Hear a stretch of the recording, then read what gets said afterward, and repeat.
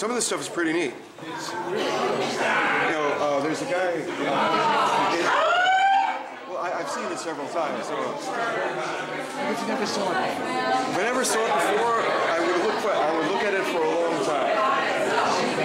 But uh, one thing I noticed is there's a guy whose piece is right in the corner right there, around eye level or around this level right there.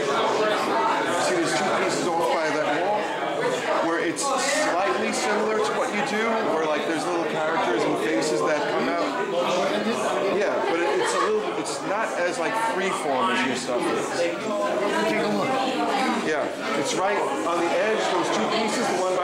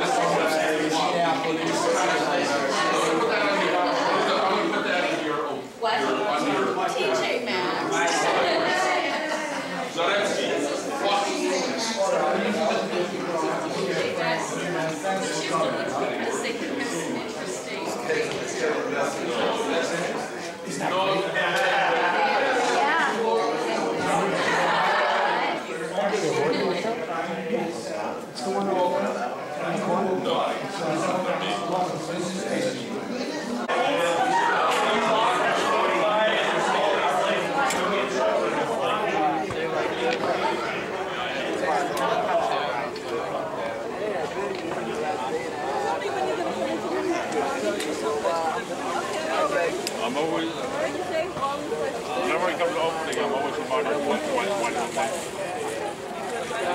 They're getting rid of stuff left and right. I don't want oh, my stuff to go.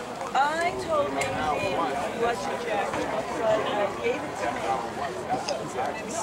Yeah, the man and his throne. I brought it over there. Um, I can see it here. All the lights are in their faces. Where is the hair? Where is the hair? The big white hair. It's in there. Big white head is in the back. It's in the closet.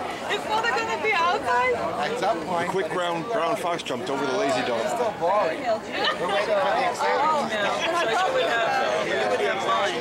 I emailed you just about a month ago saying not to bring it and then let me know. I don't need, I don't want you to, as I said the email, And then, Yeah, I am. But you told us it's not about excitement. Some line of It's comments. about excitement. Look, I have to say hello to Ed. I have to Hi. Okay. you know Ed Higgins is in Well, I, see him, you know, have to- yeah, I guess uh, you everybody up.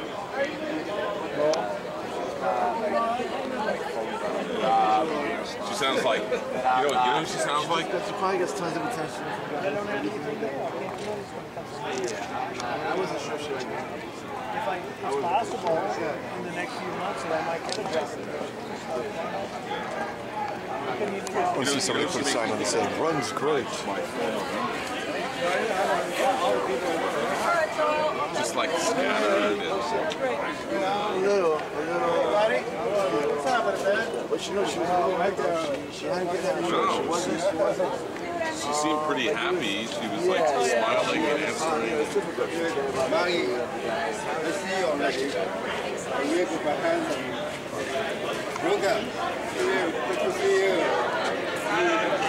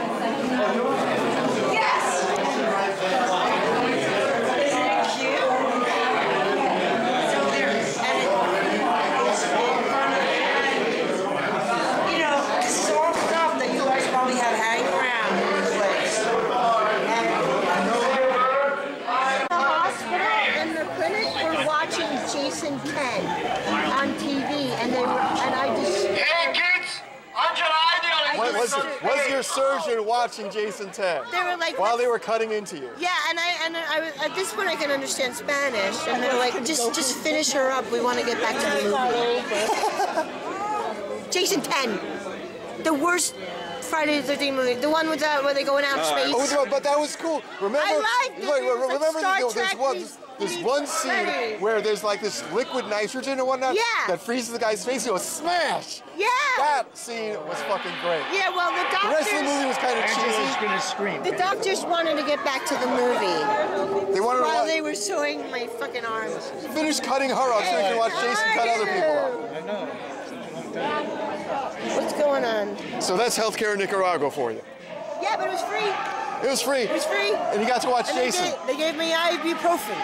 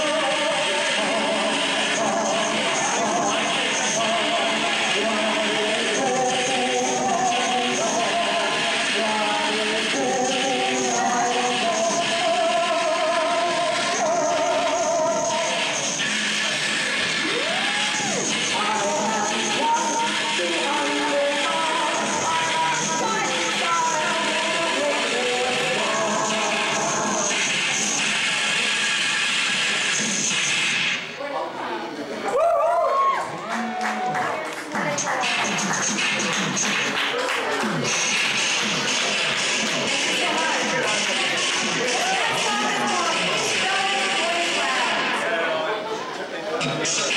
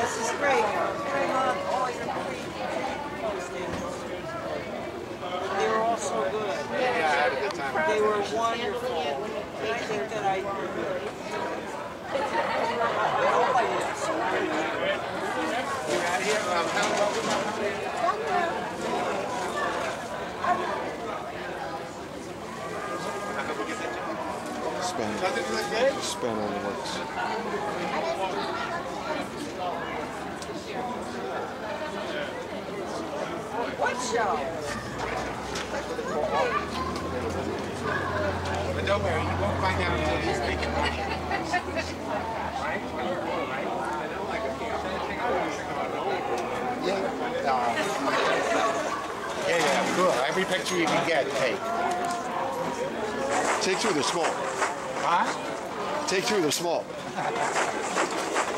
Grab some.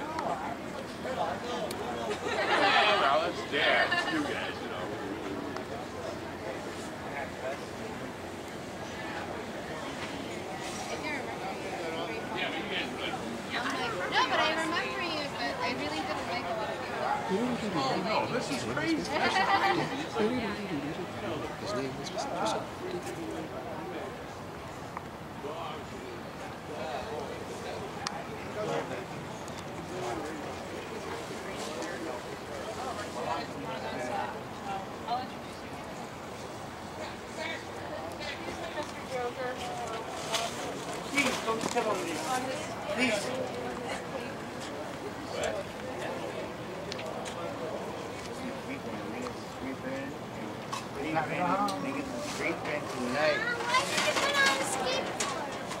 I like that. Listen, don't you have school tomorrow? No. Why don't you come?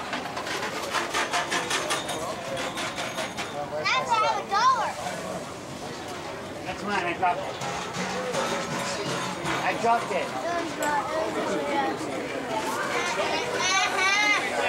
I'm not fine. I dropped the dollar. I'm calling the police.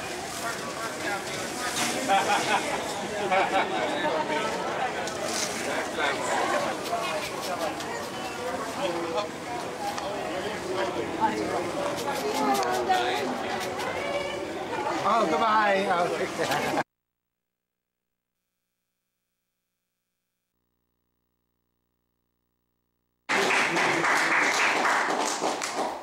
And I also want to remind everybody how important Tribes Magazine has been the years. So many years, so many publications, and so many of you have been in so many of the literary magazines, the gallery, uh, and a wonderful contribution that Steve Cannon has made to all of us, to all, enriched our life.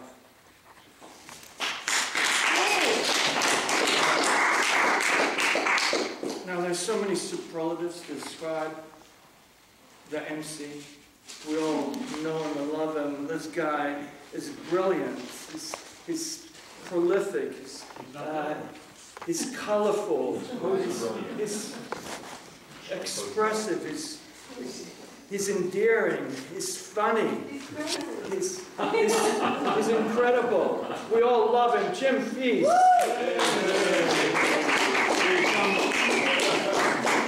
don't know. I think you all believe, you all know that this is true, even though he's not, Steve Diligent, he's not here, I don't know if he's coming, he's coming. He's coming over later. But he, uh, you're gonna agree that he would say something like, I remember telling somebody who was nameless, like, Ron, you can't, no, Ron, you can't give a free book to somebody. You ever heard him say this? Yeah. Because the person, you know, will not really respect that book. You ever heard him say this?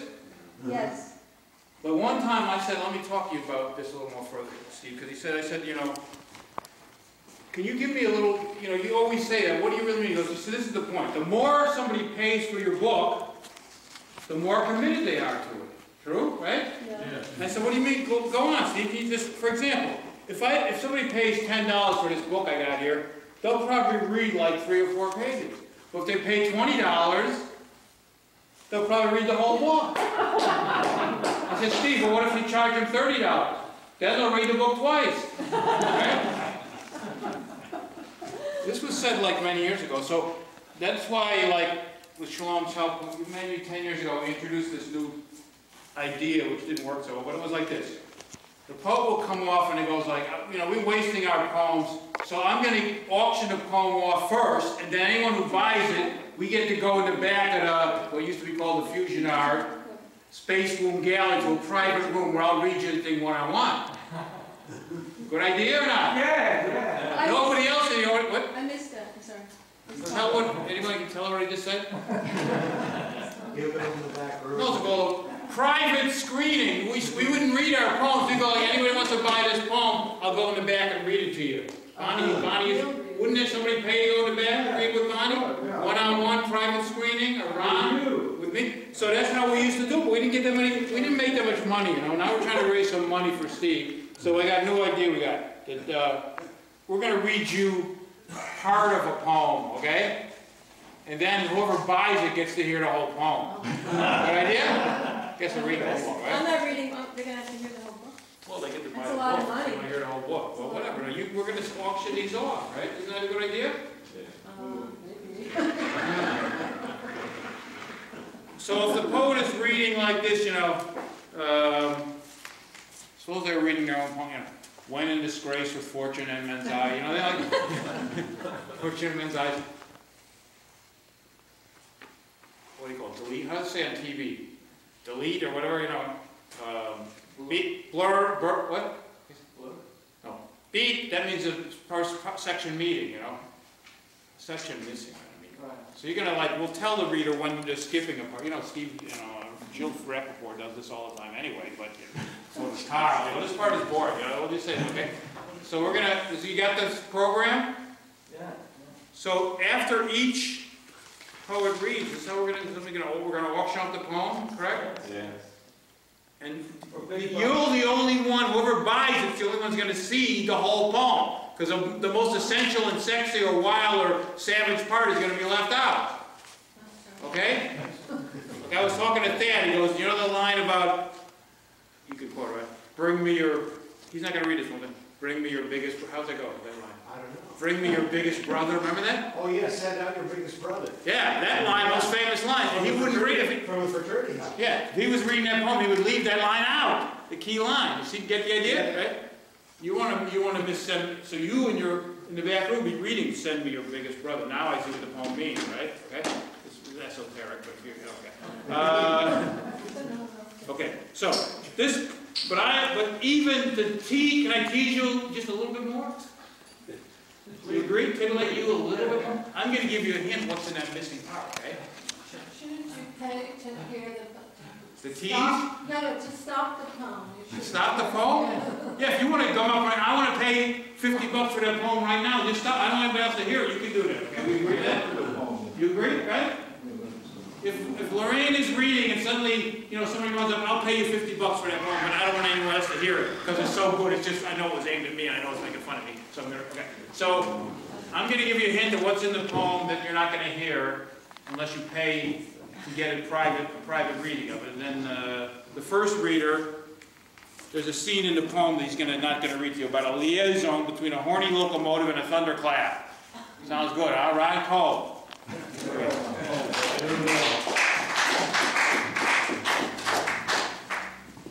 That piece was so good, I had real problems writing it. No, we're gonna do a couple other things too, though. We're gonna pass the hat a couple times for Steve.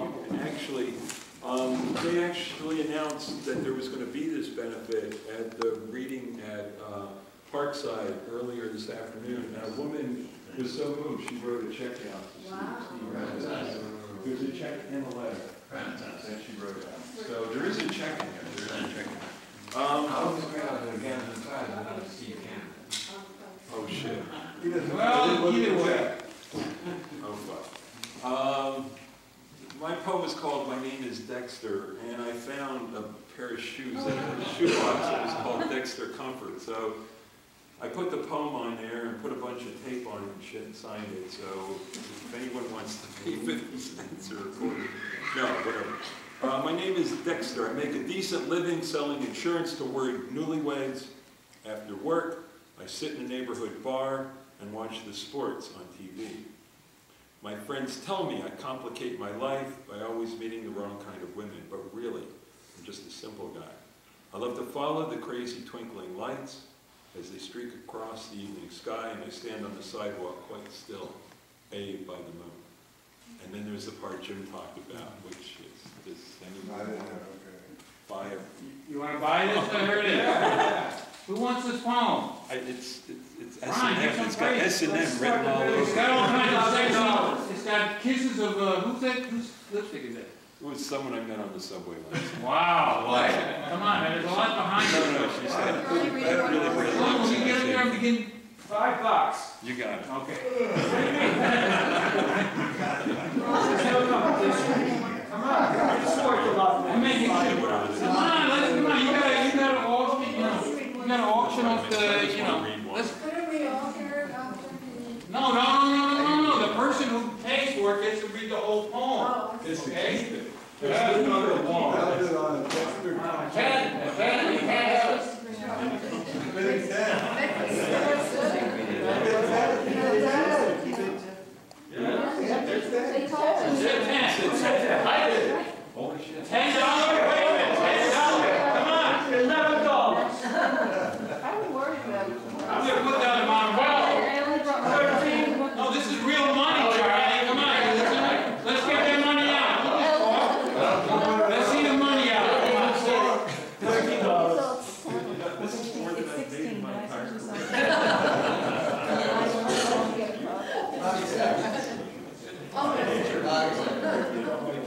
Some of the thousands that he made.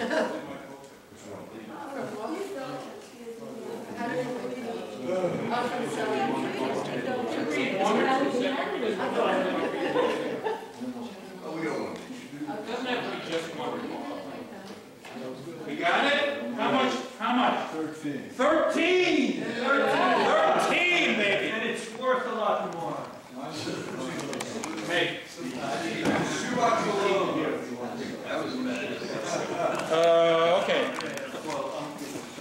Well, he's gonna be enjoying that, but you can read a few more poems, and then, and if you wanna read more than one, right? And you can say, Sure, like, sure. the last poem I'm reading, that's the one that's around four or five, you know, that's, uh, four or five minutes.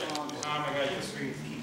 Um, the next person, the part of the poem you're not gonna read, unless you buy the poem, is the scene with the two bar, the two hefty barbells face off, arguing about who has the weightier thoughts. Dorothy Friedman August is going to be given, given uh, on stage here with that exciting poem and some other poems. Here she is, okay. Um, I especially wanted to read today because I want to dedicate my reading to a few different people, but the main person is Gary Azon, and um, his photographs are in the back, uh, the last wall over there, some really gorgeous photographs, um, which you can kind of get an idea of. They're, they're actually laser prints, but, but I think you can get some idea of the quality of his work from it. So um, the first poem is Oxymorons Always Die Too Soon about Andy Warhol dying because I kind of merged that with Gary's dying because Gary died at 57 and uh, Warhol at 58 and there were certain similarities and obviously a lot of differences. Gary also loved Warhol's work a lot and emulated it to some degree. Oxymorons always die too soon. Yesterday's headline read, Warhol dead at 58, so what his obituary? We all know oxymorons always die too soon, among others. And so it was with the slight Andy and his heavyweight persona. Revolutionary and capitalist both met death. And so our Campbell Soup Can King slipped off into the celluloid sunset. I think he's off there somewhere hanging out with all the other underground heroes, like Bogey and Monroe, but in the art star section of heaven, where Trash and Frankenstein reruns are always the midnight show. Well, back on Earth, we say farewell, Andy. America was your playground, and Gary, art amigo, and we all watched with wonder, wizard, and whore as you cannibalized the century.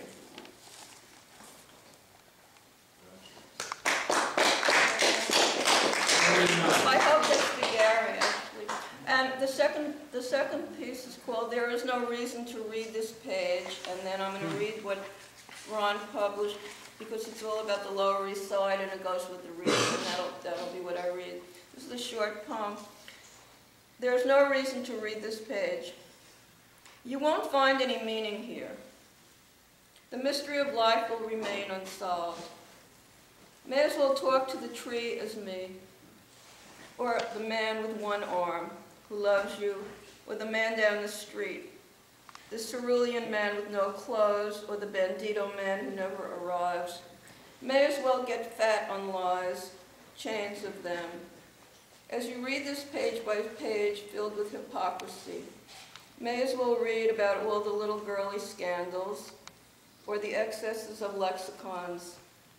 There's no excuse for you to stop within the borders of this 8.5 by 11 paper made of excuses because you won't find any fire inside, volatility, won't find doubt, who we were, why we waited, how we finished. And this is to the show. This is to Shalom. Thank you, Shalom, for putting this show together. And thank you, Ron, for publishing this in your collection. The music of 1989. One, we opened the gates of Tompkins Square Park and let the homeless back in. The Living Theater is on Avenue C and East 3rd Street performing The Body of God with actors and homeless people from nearby shelters.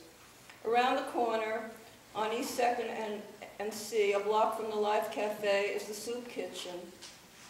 It's the year of It's Our Park, not your park. Skinheads are screaming at yuppies, shooting up while artists are covering the park's cement floor with graffiti. John the Communist hands out leaflets. On the corner of East 7th and Avenue A, while Bible Joe shouts about Armageddon. To some, it's a fiery hell. To others, just another art opening. Two, the music of 1989, Tompkins Square, artists and squatters are painting the park, while kicking over dandelions and derelicts come the police. The wind blows the homeless into a field. It takes them in and gives them a temporary home. Here in New York, they are as easy to leave and forget as human bones often are. Discarded like the elderly, their shopping bags and pillows, their bags and tents.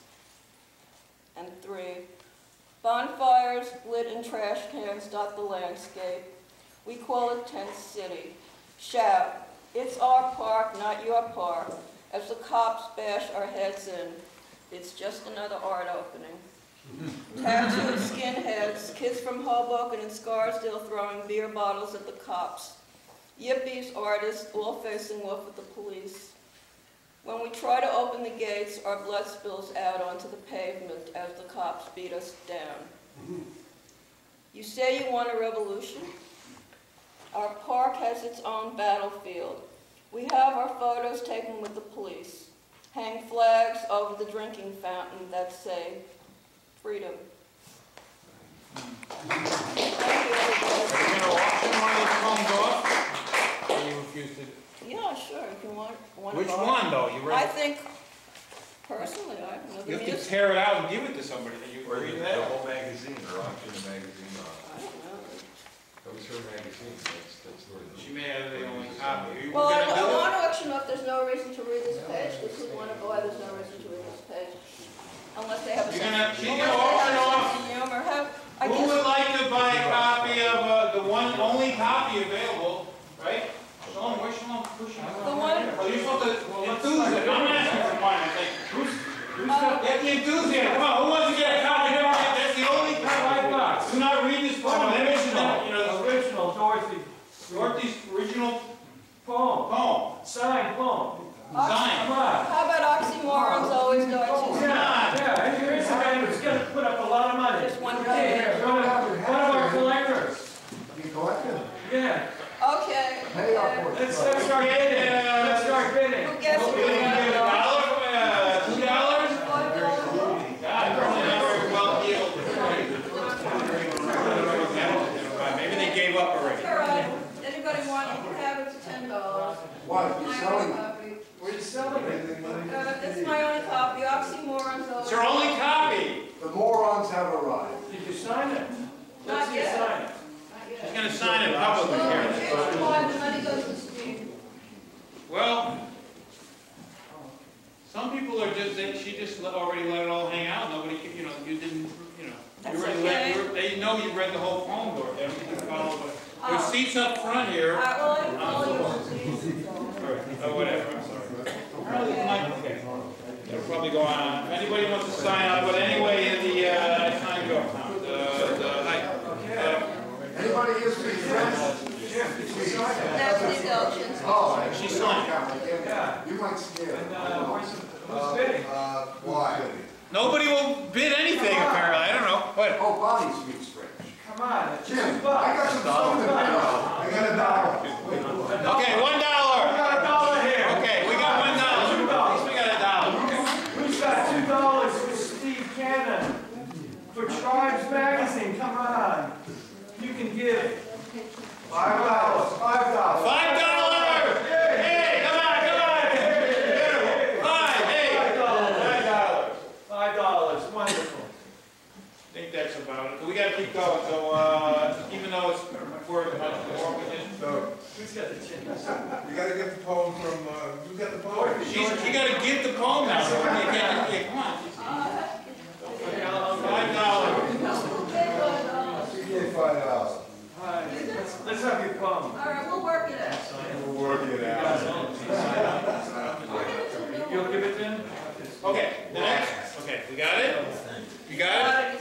Five dollars, okay. The next poet, the part, remember, you gotta remember, she's, you can't read the whole poem, you gotta leave the vital part out, because when the person buys it, they're getting to read the whole poem, see me? I, I, I'll at least pretend that that's the case. The next poet is, there's she's not gonna read the part about the wistful waif who's kidnapped, and all the, the vital clues, the whole poem is about that, well, all the clues are in the stanza she's not gonna read. So if you wanna see the clues, that's Lorraine Schein.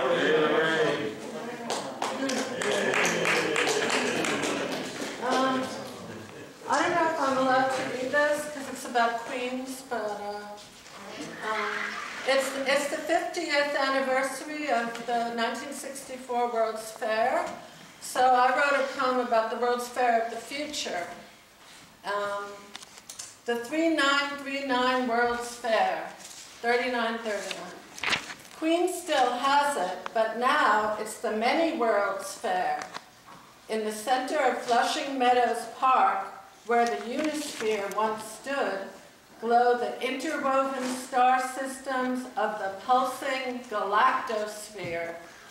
People still wait online to see the exhibits, but for the whole of extraterrestrial science and the whole of tomorrows after tomorrows, foreign foods of the cosmos are offered, including the popular Alien Waffle Pavilion. But the GI, GE Pavilion is generally not electric and does not display kitchens of tomorrow because there are no more kitchens.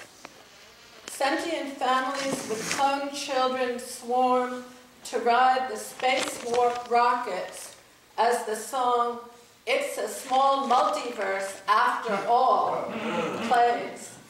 Earthlings and their robots gravitate to see the dynamic presentation of the Walmart Quark Fusion Pavilion.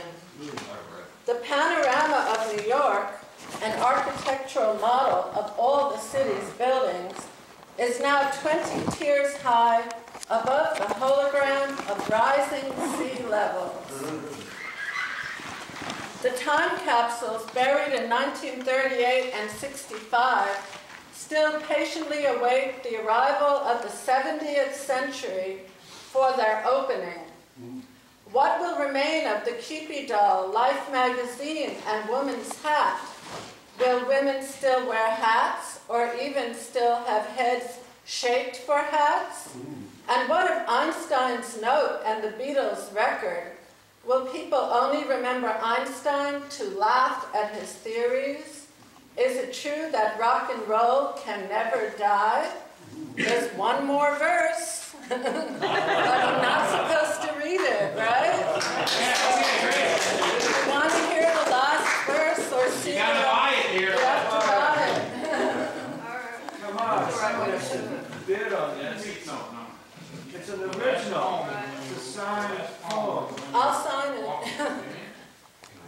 Think about it. You can buy a box of cereal. It's three dollars and forty-nine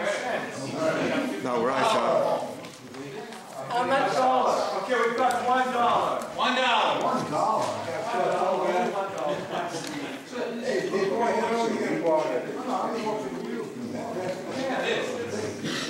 Are there no people from Queens here? Are there any Queens here? Anybody else? Going once, I'll take it for. Okay, one dollar, the price is going down, down, down, but, uh, So what do I It do? doesn't affect the quality, you know, one dollar could be for a poem much better than a thirty dollar, right? I think they're. Oh, thank you. All right. So she wants to Oh, two now, we got two, go for two. Let's roll it out, okay, going, going, we're gonna read something else that we're doing? Uh, should I read the last verse? or- No, no, no, no, no, no. Uh, Okay. Are we still bidding or not? Anybody? You're up You can ask the person who bought it whether they allow you to read the last. I heard Two dollars and fifteen cents. Ask the person who bought it if you can read it. Not, no. Uh, do you want me to read the last verse out loud, or, or should I read the last You verse? can go in the bathroom. It's up to the person that, All right. complicated. Who bought it? Does anybody know who bought it? Her she go. Yeah. Do you allow them to, her to read the last verse or not? Um, I'm going to be very generous. Oh, thank you. It's only three lines. Or will the time, or will the time capsules be forgotten, hidden under their concrete cap, until torched by the bloated, dying sun? Oh. Should held that back. What was it? 2009? Need some joke for Thirty-nine, thirty-nine. That's seven thousand years. It's supposed, the capsules, they really are time That's after the year 20. Yeah. Okay, the next, uh, the next reader is, uh, you're done, I think? It takes so much long to get to squeeze the money out of you, we don't have time to read, but that's how it's always been in poetry world. We're so busy squeezing money out of it. Uh, okay, the next reader said he told me that, uh, he let me see the poem, and on that poem there's a section where two knife-wielding planktons fight across a scutcheon of seaweed. What an exciting scene. But he's not gonna read the whole scene. That's Ronald Comeau. Right?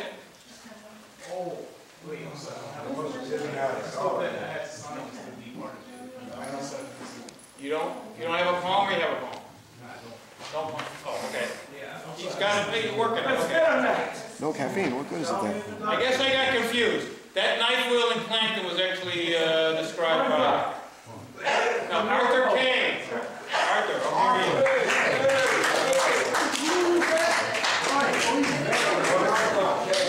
First off, it's not a poem, it's a story, all right?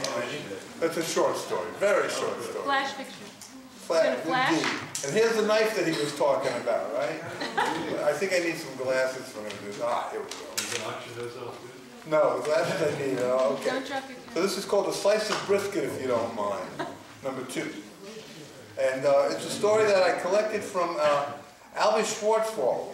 He was a pretty funny guy, and he, um, he, he used to work watching out for shoplifters in his Uncle Maury's clothing store on Orchard Street. The store, of course, is gone. Orchard Street's totally different. Uh, but it's classicality. This guy Schmaltzy owned the kosher deli under the L. Now Schmaltzy's deli was not what you call a classy place, but he made the best brisket in New York City. How good was Schmaltzy's brisket? It was good enough to die for. It was so good that Mr. Katz and Mr. Carnegie and Mr. Stage and Mr. Second Avenue all tried to steal the recipe. His brisket was so good, people came from Canarsie to eat it. They came from Riverdale for a slice. It was so good. What? Slow down. Slow down. Okay, it's meant to be read fast. Oh, read it fast. Okay. It was so good that the rabbi who inspected the deli uh, to make sure it was kosher couldn't believe it was kosher. The brisket was good, I tell you. It was so good that if Moses came down to see how things were going and make a report, he'd stop in, have a slice, and forget everything else. It's so good, they serve it in heaven. Nobody asks Schmaltzy for a lean piece. They take what he slices. When you come for the world's greatest corned beef sandwich, you don't get choosy. Now, Schmaltzy himself, he was Mr. Nice Guy, if ever there was one. Always a toothpick and always a smile. And why not? When people came from five towns for a taste. But Schmaltzy, he had more ambitions than just making the best brisket. He wanted to crown the king of brisket with a stuffed derma that spoke to the ages. But it wasn't so easy to do. The best he ever had, the best I ever heard of, the most mouthwatering deliciousness of derma was from a place on Coney Island Avenue in Midwood. I hope there's nobody here from Midwood. Please, don't take it personal. Okay. So don't take it personal, but you aren't, but you aren't there now. You're, you're here, right? No, he's there. And who would go to Midwood unless you had to? Midwood's like, it was like the prairies of Brooklyn. Nowhere, stuck in the middle of this nowhere, a little hole in the wall with sawdust on the floors and Kish got a kill for. It wasn't fair, and Schmaltzy wanted it. Now my mother, may she rest in peace, was a cook from the old country. As it happened, she made the world's best noodle kugel. Don't take my word for it. Don't take my word for it. Uh, ask anybody and they'll tell you how good it was. How good was it? It was so good it had no right to be so good. People banged on the door Friday night, Erev Shabbos, asking for a piece fresh out of the oven. Now my mother could make flanken that came out moist and tender with gravy on the side. It was the crown jewels on a pile of noodles, though not as good as that kugel. But brisket, she howled that Schmaltzy ruined brisket for everybody else. She'd stand outside Schmaltzy's waiting for him to come out. They'd argue about garlic, about peppercorns, aluminum or stainless steel, but always Schmaltzy won. He had the upper hand because his brisket was like manna from heaven, a gift from God himself to exile, suffer, excuse me, to humanity. If the Jewish people had to give up the temple, spend almost 2,000 years in exile, suffer persecution in the horrors of the Holocaust, they should at least have Schmaltzy's brisket, and maybe my mama's kugel to ease the burden. Now, my mama, she drove me crazy, but she made up for the dinner with delights for the tongue. Her pierogi was so good that the Polish ambassador from Washington wanted to know how she made the dough. It was special because it was spicy. It didn't matter whether she stuffed them with cheese or potato. She didn't do meat because she couldn't serve it with sour cream. You always wanted one more. It didn't matter that you got heartburn after. And I'm going to stop because the rest is in here. Three dollars. We got three dollars. Three dollars. Anybody else want to top that? I wish I could give me a piece of that kishka. We got three dollars on this baby. That's all? No, there is no Kishka. That's the problem, no kishka. We That's all we you don't have to have the find. for conditions before. All right, so three dollars? Okay, twice?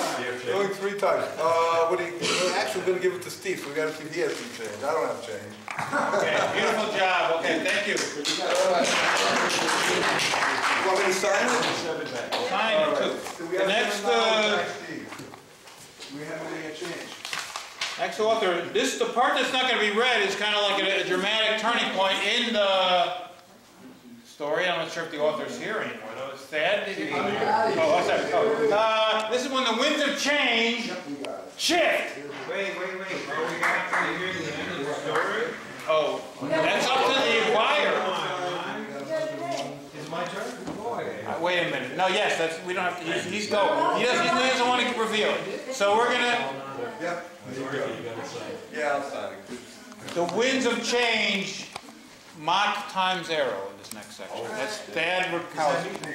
Okay, I didn't, I didn't understand the rules of this reading until I got here. Yeah, me too. But as it turns out, I have a copy of the piece that I'm going to read because Jim mentioned it in his intro to the reading. Uh, he quoted from it. So, uh, and this, this uh, copy is very rare because it's from the literary magazine that this, this piece first appeared in. Um, it's called Pearl. It's from Long Beach, California. Um, Okay, this is called Under Any Circumstances. Um, Under any circumstances, don't put a dry bean in your nostril and poke it with your finger until you can't reach it anymore. Don't stick a fork or other utensil into an electrical outlet. Or in your own words, don't play with the plug or place. Don't ride your bicycle full speed across an active roadway without looking both ways or stopping. Don't take a magnifying glass outside on a sunny day and incinerate ants. Don't light a firecracker and hold it in your hand until it explodes and leaves a wet, circular blister. Don't stuff match heads into a closed metal pipe until the device has the killing power of a grenade.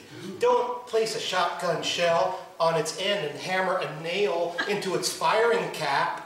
Don't pretend you are shooting BBs at a paper target when in fact you are shooting at human beings. Don't tie a child to the crossbar of a swing set and leave him to be discovered by his mother.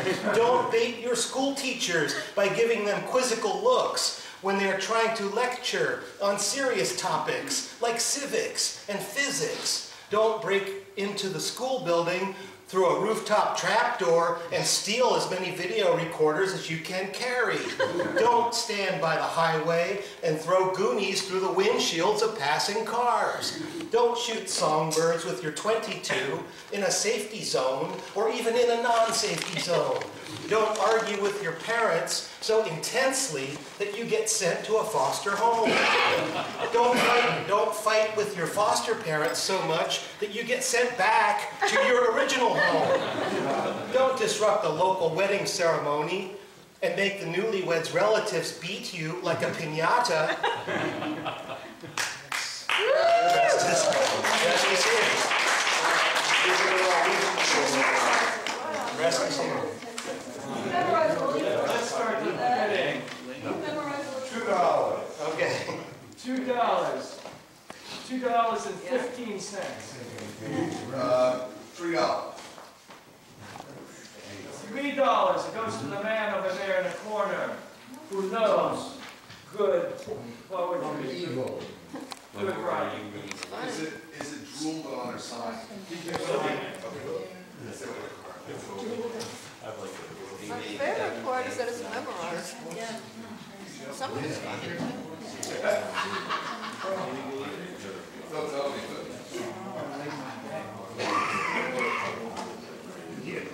What are you looking for? Your black bag? Your gym.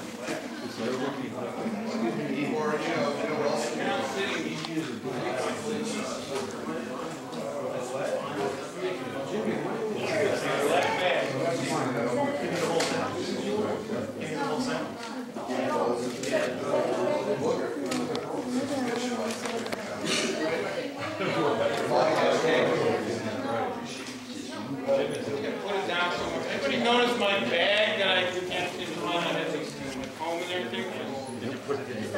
No. It's black? Black bag, yeah, black. My black bag. No. Yeah,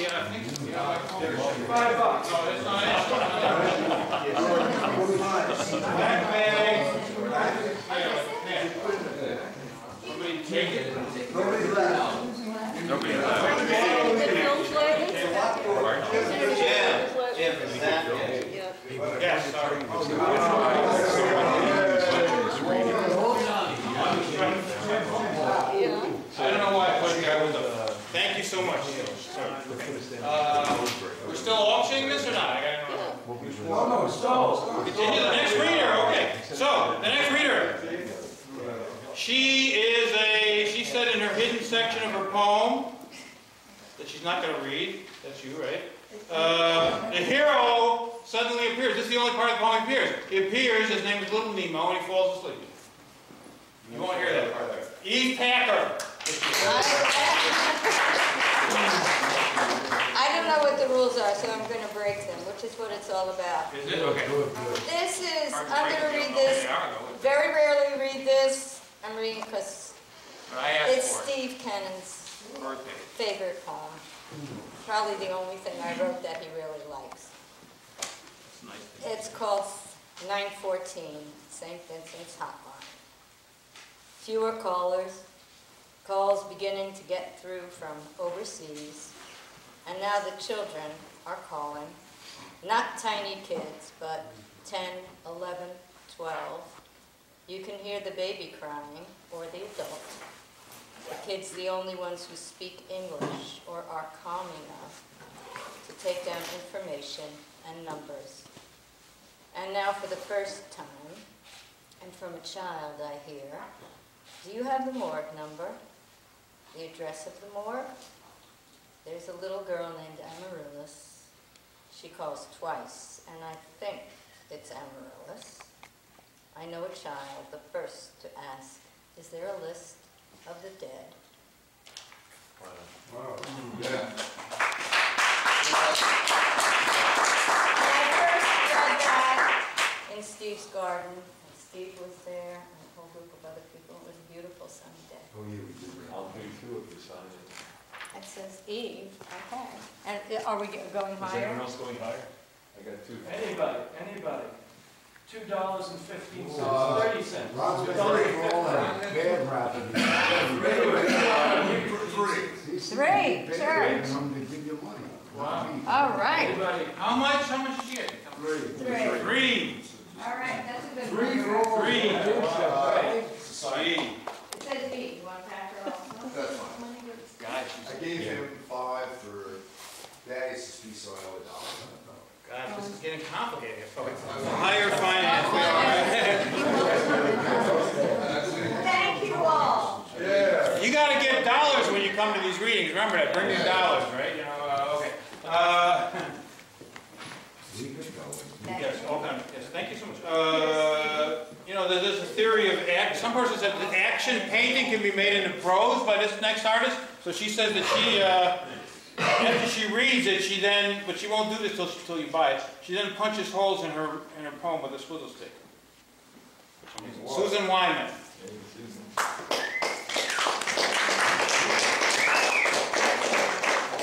So I'm gonna punch the holes now. This is called, what kind of, what kind of woman abandons a diamond ring? My grandmother threatened, don't crack your knuckles. They'll get big, and I won't give you my diamond ring. I cracked my knuckles. Forty years later, I received the two carat solitaire. I wore it to a wedding and to a bar mitzvah. No one said a word, not, are you engaged, or where'd you get that rock? I couldn't wear the ring. It was too large, my hands too small. It was not the time to sell or give it away, so I placed it in a safe deposit box. I just left it. Bad granddaughter, never visited, often wondered, was it still there? A year later, I made the journey. I entered the bank. The attendant escorted me to the vault, turned the keys, handed me the strong box. Once in the chamber, I opened the steel container, untangled the rubber band from the dingy little box, removed the layer of white cotton. There's one more paragraph.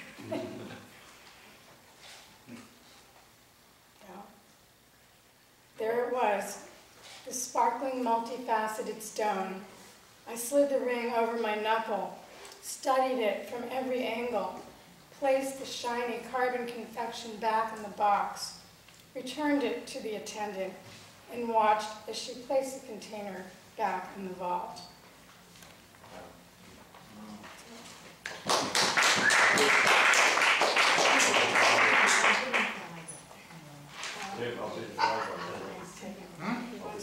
Five dollars on this one. Come on, yeah. Five, that's a nice, nice, uh, weighty number. Anybody wanna go a little higher than this? Five is nice. Six! Yeah. Six, okay. I'll do seven. Seven. Whoa, Steve is gonna be rolling about it. Huh? How many carats? It's signed, it's, it's Still in the same punch deposit hole, box. it's seven. This phone comes with an actual ring. Well, it doesn't a ring, but it comes a you're gonna wear. But, uh, I made it. I'm sorry. Oh, I saw it. Ten bucks. Ten? Yeah, ten bucks. Even ten. Okay, great, ten dollars. Eleven! Up to eleven, we got eleven, going once, twice? Is it good? Okay, going, eleven. Get a kiss. The next famous author, uh,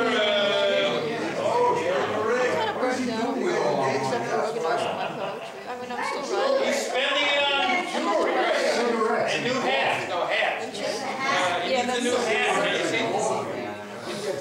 I'd rather they just took. This author, uh, in the scene that's not going to be mentioned in his poem, rounding a corner, the protagonist stops to slurp from a bird bath filled with tang. Tom Savage.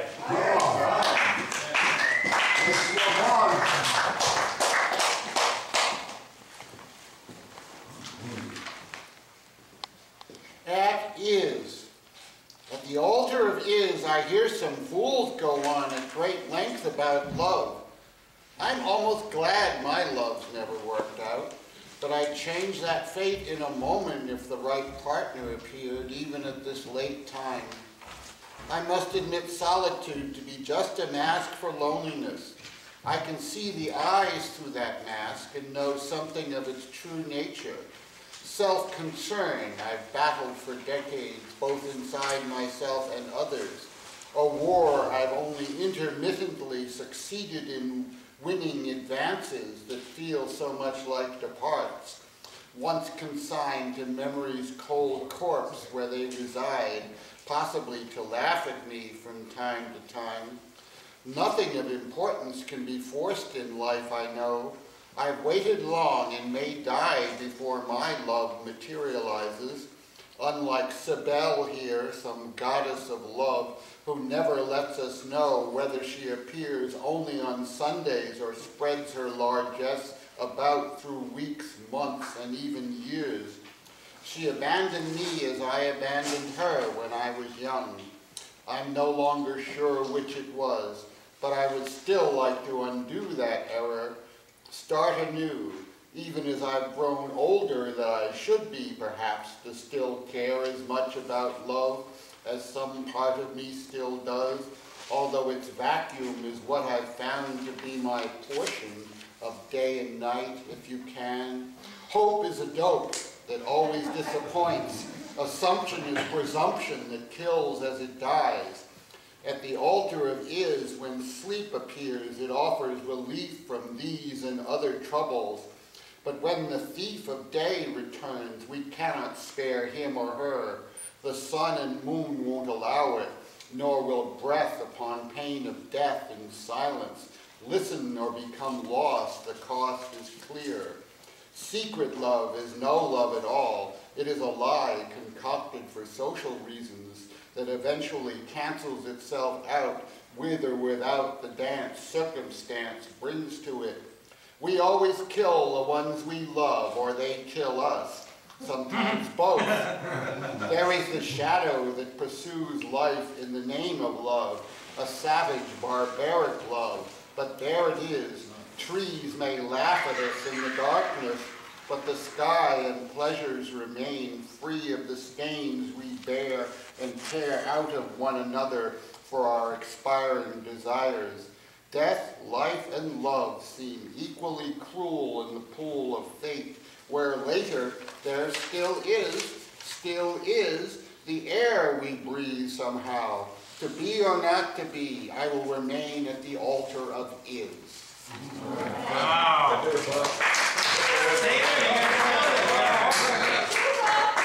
dollars on this bit. Bid 'em in, bid 'em in. Two dollars. Three dollars. Steve, will you get the, get the audience, uh, Bid 'em in, bid 'em in. Three dollars. Three dollars. Three dollars. Four dollars. Don't be late.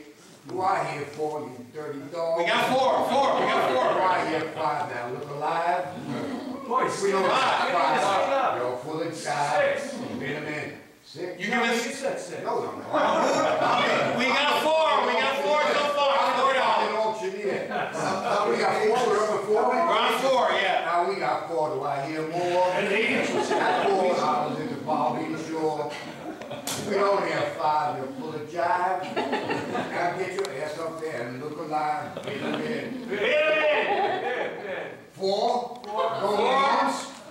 Going twice? Going four? Three times. Four and a quarter? Four times. Four and a quarter? Anybody. Four and a quarter, I'll stab your jaw. Okay, four, going for four. Sign it, Tom. I'm Four, you gotta sign it over, I don't know who Me, Eve. the, Eve buying it. Hey, do pull a Gregory, sign the Kerouac's name.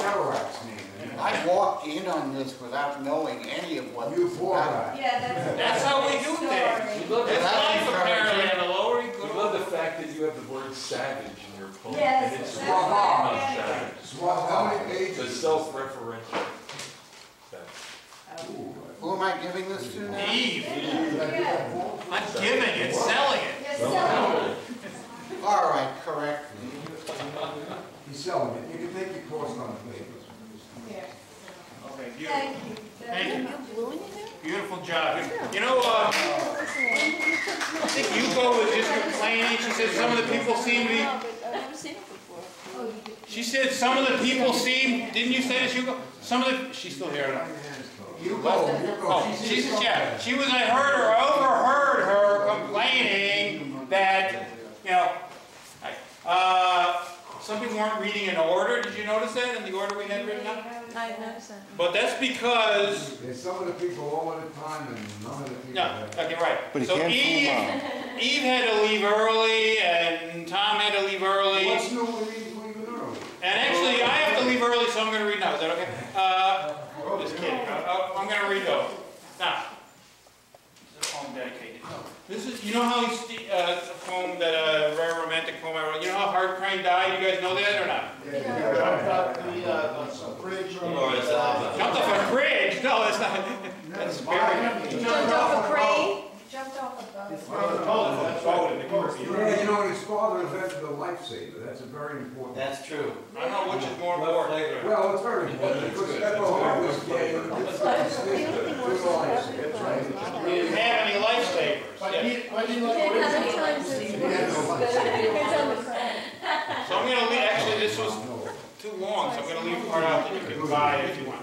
You ready, you ready, you ready? So this is about his suicide. Um, some have read this online already.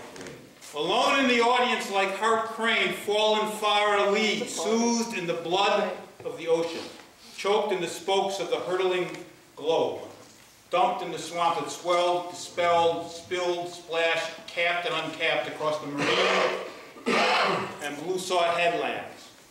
The sun wrenching itself inch by blazing inch toward the zenith, almost reached. His coat lying in the stern, fringing wet with the sweat of the sea. Orizaba, driving toward the North Atlantic, do not look back. Kind of thing. Let your engines not shiver in some inmost sob, half heard. Do not founder between troughs of legless waves, or point your bloody prow toward the sparkling coast, a dark tender with mirrors. April 27th, crossing, recrossing, turning, turning back, the heavy ship tracing a winding line 300 miles off Havana, dipped and pivoted the waves. Waves like ranks of angels. Jacob's ladder snapped and boiling in the sea.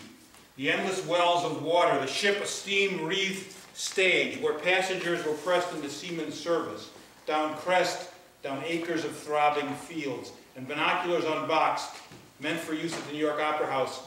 The ship as if it too were lost, looming across the meadows, its engines fragmented, pounding, its screws, the sound dissolving like a slender reed in the vast underpinning, the quelled longing of thunder, gurgling and sighing onto itself. Alone and aimless in the crystal hangings where another Ishmael was mark and remarking the melting flood's line. Hart, you splashed out from a pool closed in cool white marble, a fragrant droplet curving down the spine of a mirror, a spider swinging through his greater space, broken away and descended down gravitation's vortex. Break off, descend. Thy hand, I claim it, and thy arms. Did you bob there like little Pip riding himself in the long wake of a whaleboat, trying to wipe the sparks of water from his lashes with hands that drew a length of wet lace when lifted? Did you shake your head like a puppy, like him, feel the water knotted in your ears? Did a ringlet of hair prick your eyes to be brushed aside by fingers noosed, shoes like an iron cuff on the feet, the shirt flapping sleepily like the rags of a sail on the absolute Dutchman? Hmm. Cut out a part. Heart. Hart. 40 years between us, between your dip and my dipping pen, between two pages, closing your poetry, opening mine. Alone in the audience, I and my coat laid over a chair reserved for you. Woo! Okay, okay, now we're sorry, That's a three-page poem, it's selling the video, three dollars. Business, I had three, I had three, three, three over here to the man with the chubby belly. Four, do I hear four? Four, you get four, four, four? Four. Four, four, over there in the back, four. Do I hear five? Five. Four fifty, four fifty, four fifty, four fifty, do I have five? Five, five. Come on, let's get me tired here. I'm, I'm, Four fifty? Five, four fifty, we're up to four fifty. Five, five, come on. Hit him in, hit him in. Five, five, five. Going once. Five, five fifty, five fifty. Whoa, five fifty. Do I have six? Six, six, six, six. Hey, you stop playing with your money over there or put it out. Uh, look at this. Five fifty, we're up to five fifty. Come on, make it an even number. We don't want to give get counting fifty cents. Six. Do we hear six? Six. Six. Six. Six going once, six going twice, six going three times, going at six to the man over there named, uh, Mitch, uh, brother, brother. That's, I'll have put him on soon. that's pretty good, that's pretty good, that's pretty good. That's two dollars a penny.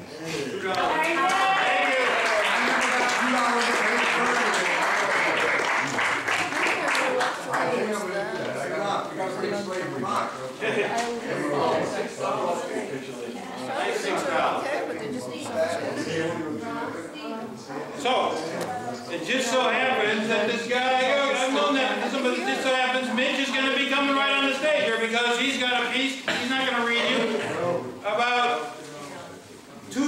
cadets appear and begin fomenting fermentation.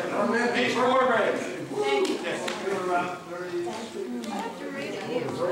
Come on.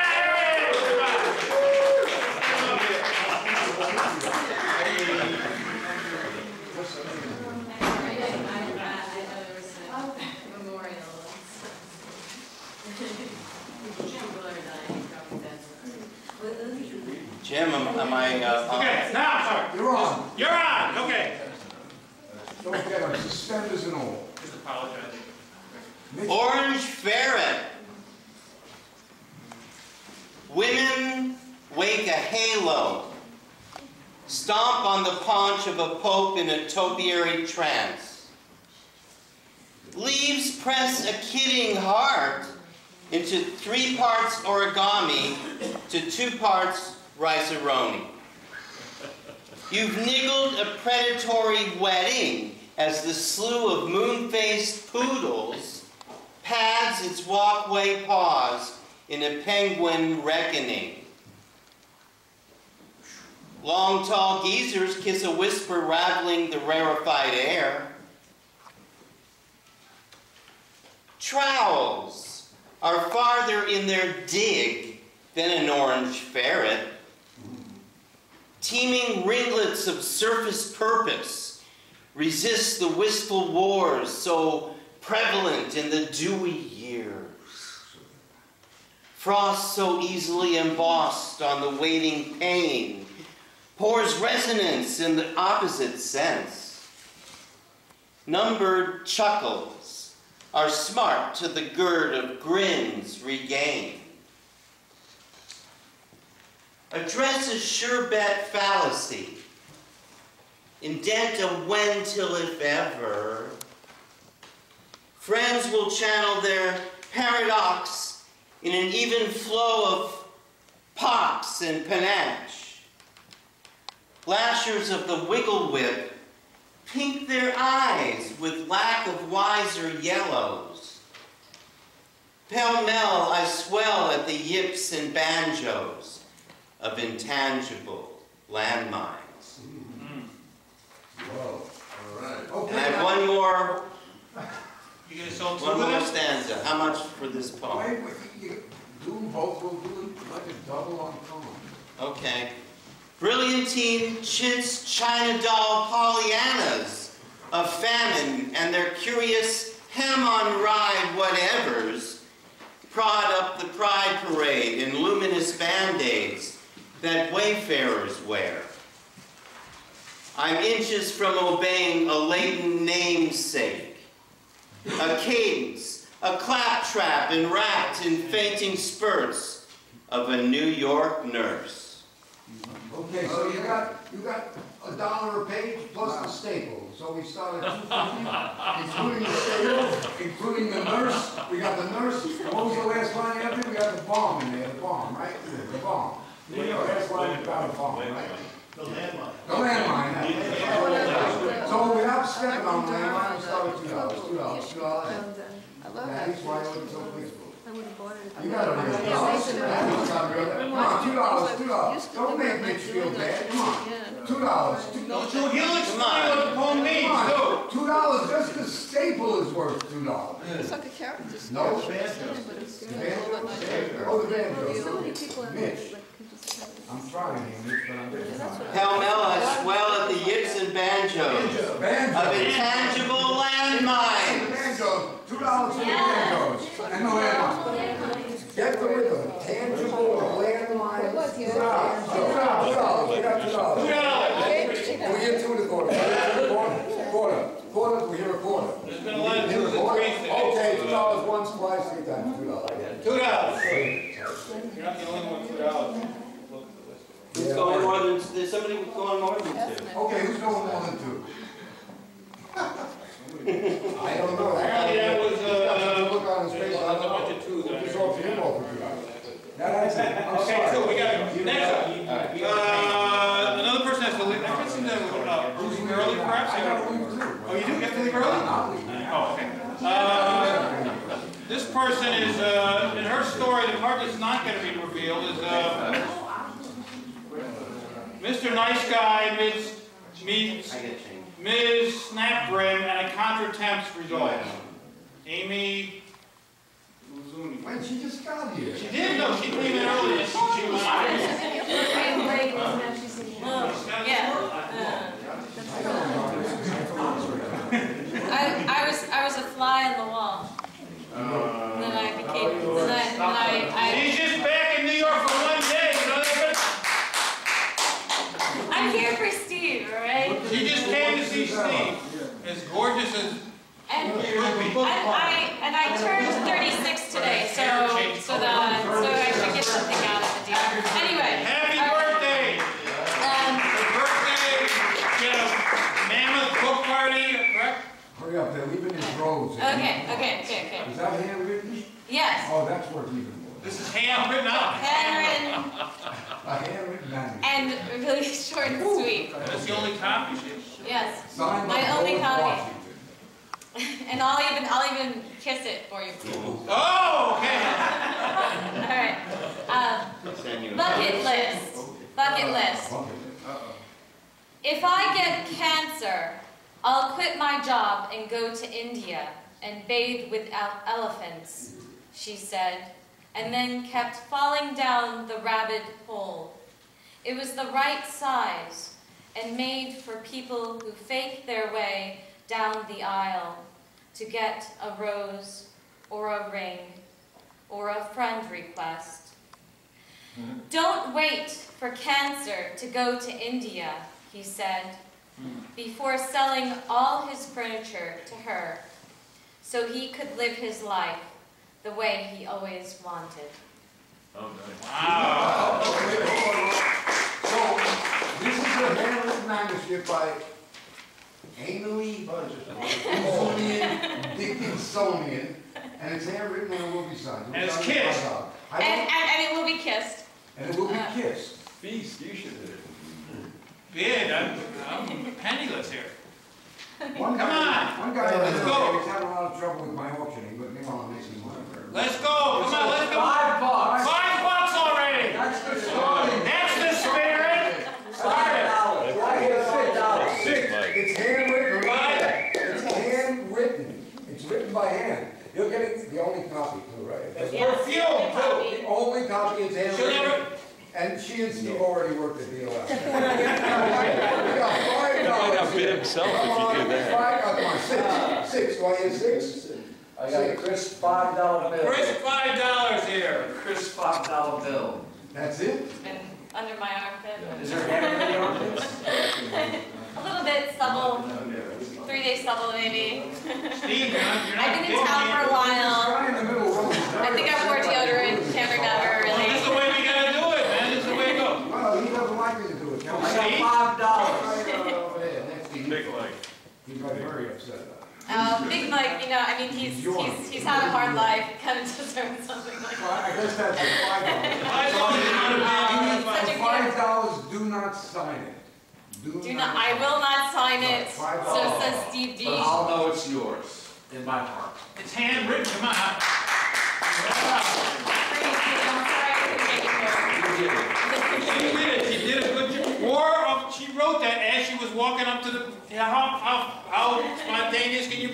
Better. Am I right? You can't do better than that.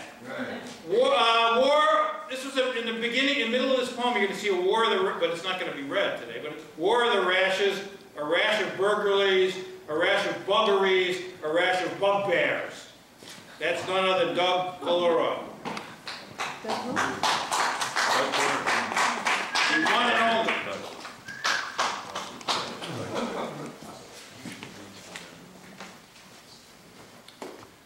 People ask me how my company, Fad Makers of America, came up with one of the greatest fads since the yo-yo and the hula.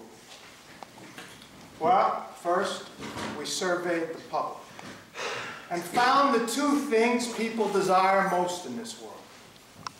Number one, seeing other people naked. Number two, shellfish. So, me and my team brainstormed around these two basic human urges to come up with a fad wholesome enough for the whole family to engage in. In the end, we went with the obvious choice. Tossing live lobsters into the laps of unsuspecting nudists. Before long, hordes of people with writhing sacks of lobsters on their backs were running like demented Santa Clauses through nudist colonies and nude beaches, lobbing lobsters right and left. The female nudists screamed. The male nudists would jump up, lobsters still clinging, and hop around, performing what quickly became known as the dance of the nutcracker suite. Well, good luck. This was a win-win for everybody. Even the lobsters were happy. Because compared to being tossed into boiling water, being tossed into somebody's pubes is pretty cushy. Literally. The fad really took off. Before long, if a horny woman asked a male nudist, hey, is that an erection? The most common answer was, nah, that's a crustacean. My favorite story is about the guy who took his girlfriend down to a restaurant in Chinatown. She went to the bathroom. He got inspired, grabbed the lobster out of the fish tank at the front of the store, wrote on the back, will you marry me, snuck into the bathroom, and lobbed it over the wall of the locked stall. Well, turns out he'd gone into the men's room. But true love found its course, and two months later, he and this guy Chuck were married. And at the beginning of the wedding, the lobster was the best man, and at the end, it was part of the entree. A perfect romantic symmetry. Well, no fad lasts forever. Soon people were complaining that the lobsters were too heavy to carry around. They started to toss smaller shellfish. Let me tell you, if you throw shrimp scampi into somebody's lap, all they do is put it in a Tupperware bin and eat it later for dinner. Where's the fun in that? So we needed a new fad, and we surveyed, surveyed the public, and we found the third and fourth most common desires people have. Number three, traveling through space. And number four, getting bargains on merchandise. And so we brainstormed up a new fad, the 99 cent parachute. Soon people were flying through space faster than ever because for 99 cents, they don't usually open. But that hasn't begun to slow sales down because bargain hunting fadsters can't say no. Yeah. Twenty dollars for Doug's mouth. Twenty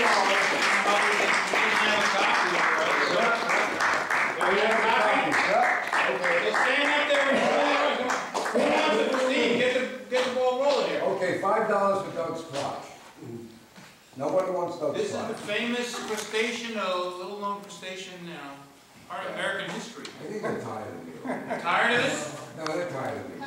Somebody else wanna like make over the building stuff. What's that? No, I'm Cut cool, it Maybe we're getting too tired of bidding here. Cut everything down. Sick of this stuff. No, can I go back? Guilt free money? I'll leave you. One dollar? Okay, we got one dollar. Yeah. Steve, we got a dollar. Two dollars. Two dollars. Three dollars. Three, we got the three, it's rolling up We to got a three. five in the back. We got a four. Four dollars. Five in the back. Four, we got four, no, he said four. We got a, we got a, we got a. I didn't say four. Church is not wearing I four. didn't say Doug is not wearing underwear. I didn't say five. No, he did. Six. No, no, no, no, Six. I thought he said four. Four. Okay, so he's screwing things up. Three, uh, back to three, goes down to three. Okay, it's back down. to- Someone said four. Yeah, but he, now he said he didn't say it, I saw. Somebody said four. Oh, he's a- okay. Three dollars, three, three, three, three, going, going,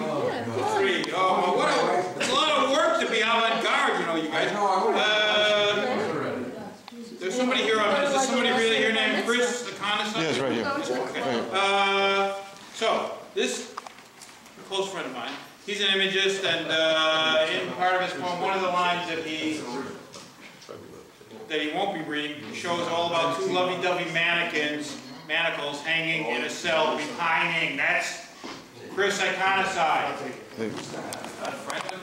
A friend of, a friend. Friend, of David Huberman, who was not. Who, who- Oh, David Huberman. yeah, he was supposed to have been here, but he wasn't able to make it, so I'm sort of been conscripted into servitude on his behalf. Um, he just got back from Thailand, actually. So I'm sure he's feeling real good. Yeah, well, yeah. His spirits are up, but his body is uh, sort of uh, deflated. Okay, well, having been told about the way things were going to be running tonight, um, and knowing that there was an auction about, I had to uh, cram down and write the piece, which I have not performed since uh, December of 1988. But because part of the rules were they were supposed to uh, leave out part of the poem, I have since forgotten how it goes. Good, okay. So there's, there's a middle of the second or third verse that is not here. If somebody wants, I can actually email you the complete poem. But uh, it's a number, it's a, it's actually a, it's a called Common Time. Common courtesy, common sense, you're so common, so sublime. Punch a clock until you're dead, that's common time. Different faces, different places, different ghosts behind each door. I'm not going to listen to you because I've heard your lies before. It's common time, they call it. Common time, don't stare. Common time, I'll look at, you'll be there. Here's where I start forgetting. Got to try to win the race, so caught up in it that I'm fighting so hard not to fight it. Common time, and here's like ones that I forget, so you can't get those until I know to. Um, endless weeping, still you're keeping. Common time, it's common time, they call it. Common time, who cares? Common time, your destiny is nowhere. Endless questions without answers, endless verses that don't rhyme, impose chaos upon order. Common time, go to school and go to work, and got a nickel or a dime, riding life's merry-go-round of common time. I'm desperate. Common time, I want it. Common time, I care. Common time, an exit we can share. System's father, system's son, passing down the family line, law-abiding, scheduled tidings, common time, system shatter, does it matter? If you're not right all the time, your life's a dream, it only seems like common time, common time, it's normal, common time, it's fair, common time, open your eyes, it won't be there, common time, they call it, common time, who cares? Common time, your destiny is nowhere. 1984, I wrote that. And uh, if anyone wants, this is uh, scribbled, words out of order, lines crossed out, and I can email you the uh, full uh, lyrics uh, if anyone's interested. I bet, I bet a dollar, but do you come with it to sing it? Um, I, yeah, I, I, can- I, can- I, I can give private audiences probably, but uh, I'll, I'll start. No, no, no, no dollar, it's five dollars, it's handwritten. No, one dollar is what somebody bid. You don't, you don't get the line. you don't get the Two dollars. Okay, two dollars. And it comes without the lines he forgot. it comes with that, it actually comes with lines that I made up, but I realized that they didn't Made fit. up, without lines he forgot. That's a really important point. Three dollars. Two dollars so far. Anybody want to go above two dollars? No, when Kowski stands clear and firm. Okay, no. Okay, two dollars. Next, okay. No money coming out of his We pocket. gotta roll along here. Two dollars. Moving right along. I want the rest, everybody. Uh, Yes. now we have. Come on, we're losing an audience here. We're losing- So Guys, we we did that still pretty need the quickly. complete. You know, this poem, the next, she's gonna read a prose poem that starts, ri- it starts, it's rhyming, there's part that's missing. It's rhyming, then it goes to free verse, and then it goes to enslaved verse. That's Bonnie. What about perverse? Bonnie Fine. Well, the truth is, I really hate reading in public, it's so oh, awkward. Oh, no. Like, since you put the leave out part to make you buy the thing, I wrote a novel, so I'm gonna read everything except the last paragraph. I hope you can, no, just kidding. Anyway. Write your email address down so I can send it to you. drop on the floor just knocked What's that? No, write your email address on that so I can send, it, so they can send everything to you. Okay, I'm gonna read Here's this the- uh, you little can write piece that. here. Some guy lying on the couch, his girlfriend's away in Asia, and he misses her, but he drinks a lot. And he's, he's, he likes to wear her clothes. He's in her apartment alone. So this is what's happening. I've got the TV on mute so I can read this stuff and still look up at all these guys in suits shooting at each other. Candace is pretty organized when you think about it. Not so concerned about cleaning maybe, but everything's in its place. Her life is like a library. If you know the system, you can find anything you want. She has inlaid boxes from Afghanistan and leather luggage from Madrid, suitcases full of her other lives. The ones before me, that is. She has two Halliburtons. That's where she keeps the important shit. One of them was where she kept the gun. Now it just has all her old passports and her visas for various entries into India and Tibet over 25 years, from 25 years ago. She's always talking about how opium was so cheap and hash, you could buy an ounce of either, or both, throw away whatever was left at the border and buy more on the other side. I sometimes wonder how much she was actually there, being so out of it. I don't know, maybe it was deeper than it sounds when she's telling it all boozed up. I'll never really know. I wish I'd been there with her then. To be 20 with Candace would have been amazing.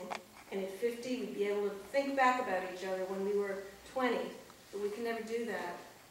This bottle's almost empty, and I've read every letter, every note that anyone's ever written to her. She saves every scrap of paper and files it away. It's like the Candace Museum. A note from some guy she met on a plane. I think he might have been a flight attendant, or maybe he sat next to her, I don't know.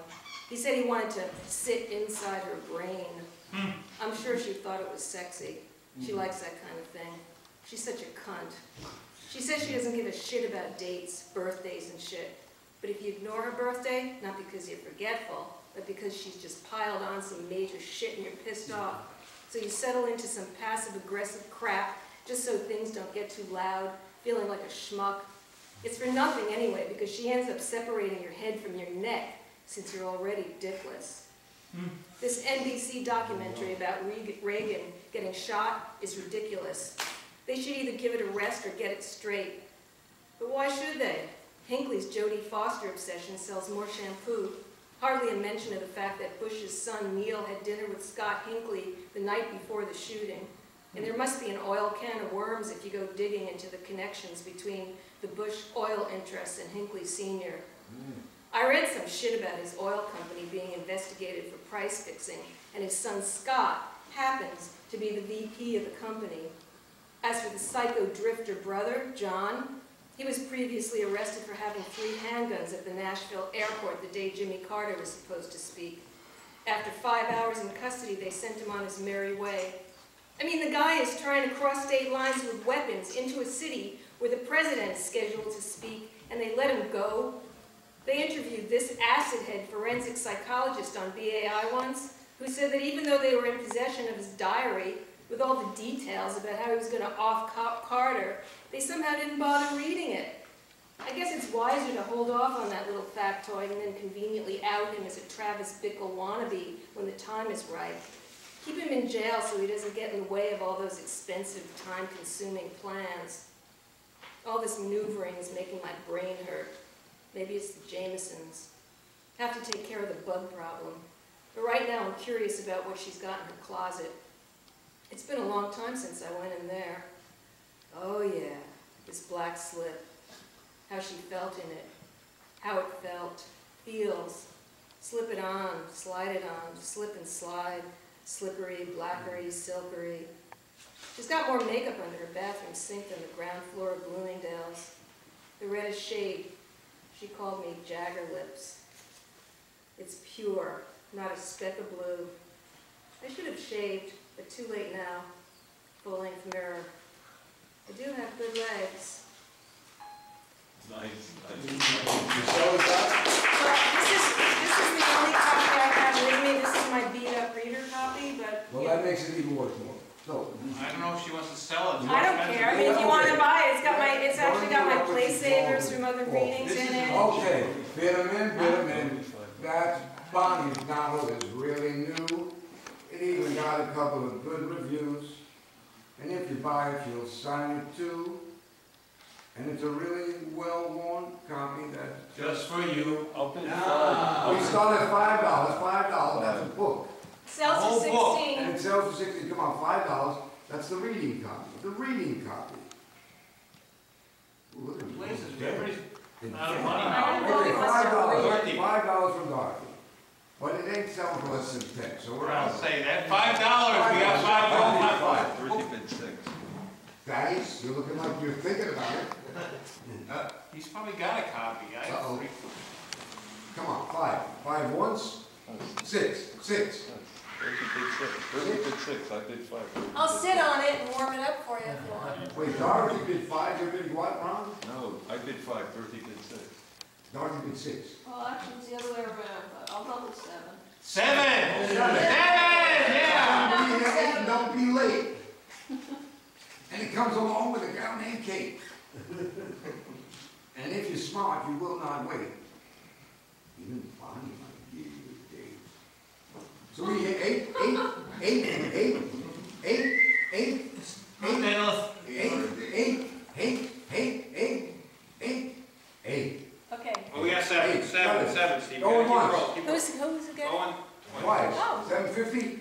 Seven fifty? We got seven. Somebody should chill out there. We have one- Seven for Bonnie. Okay. Beautiful, thank you. The whole book.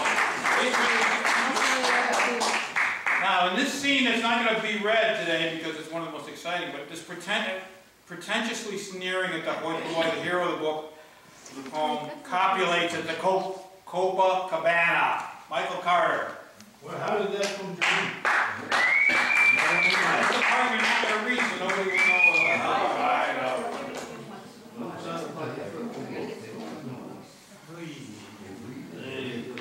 Read already, yes, here he is.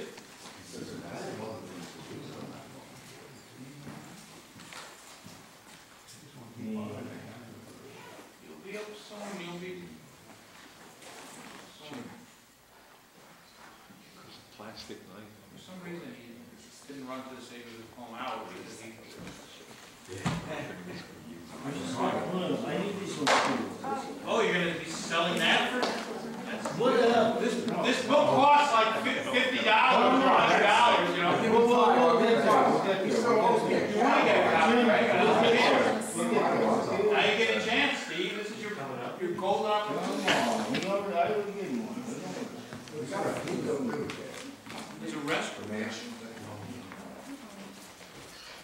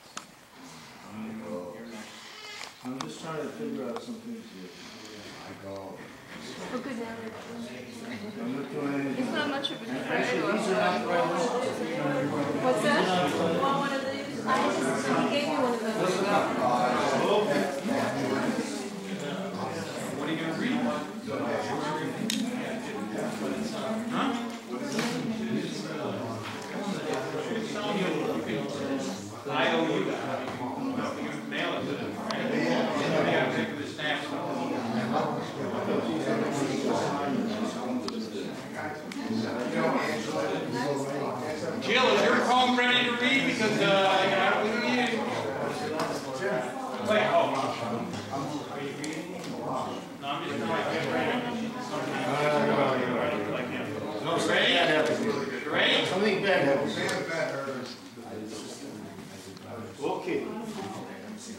Let's see what else I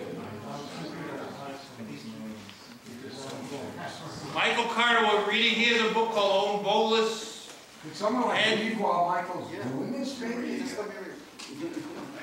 Michael, you mind if somebody else reads? No. Yes. Because I'm ready to read. Uh, okay. All right. Gonna fucking read. I don't care. Whatever this is. Let me see if this is the right shit.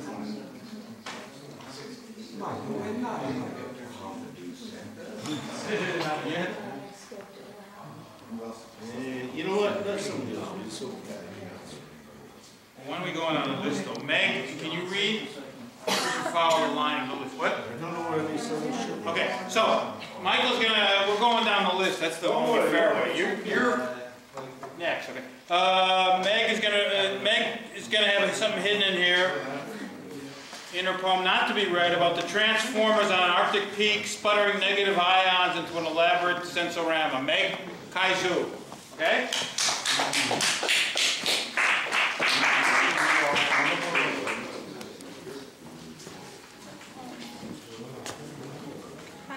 A poem called The Attic. Uh, the Attic. I imagine you hear the sculptural aesthetic of your fingers, the way you lean in and tilt your head. I hold its weight in my hands, your nervous whisper in my ear, your attention I crave and die for.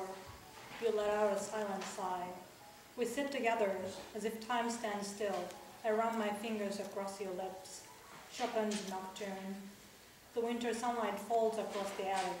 I listen to the icicle melt, crack and shatter. Carry me home. The gaze you cast over me, the footsteps resound, the desperate still flame in your eyes. Sarah weighs upon her shoulders, my words rot in your presence, caught in my throat.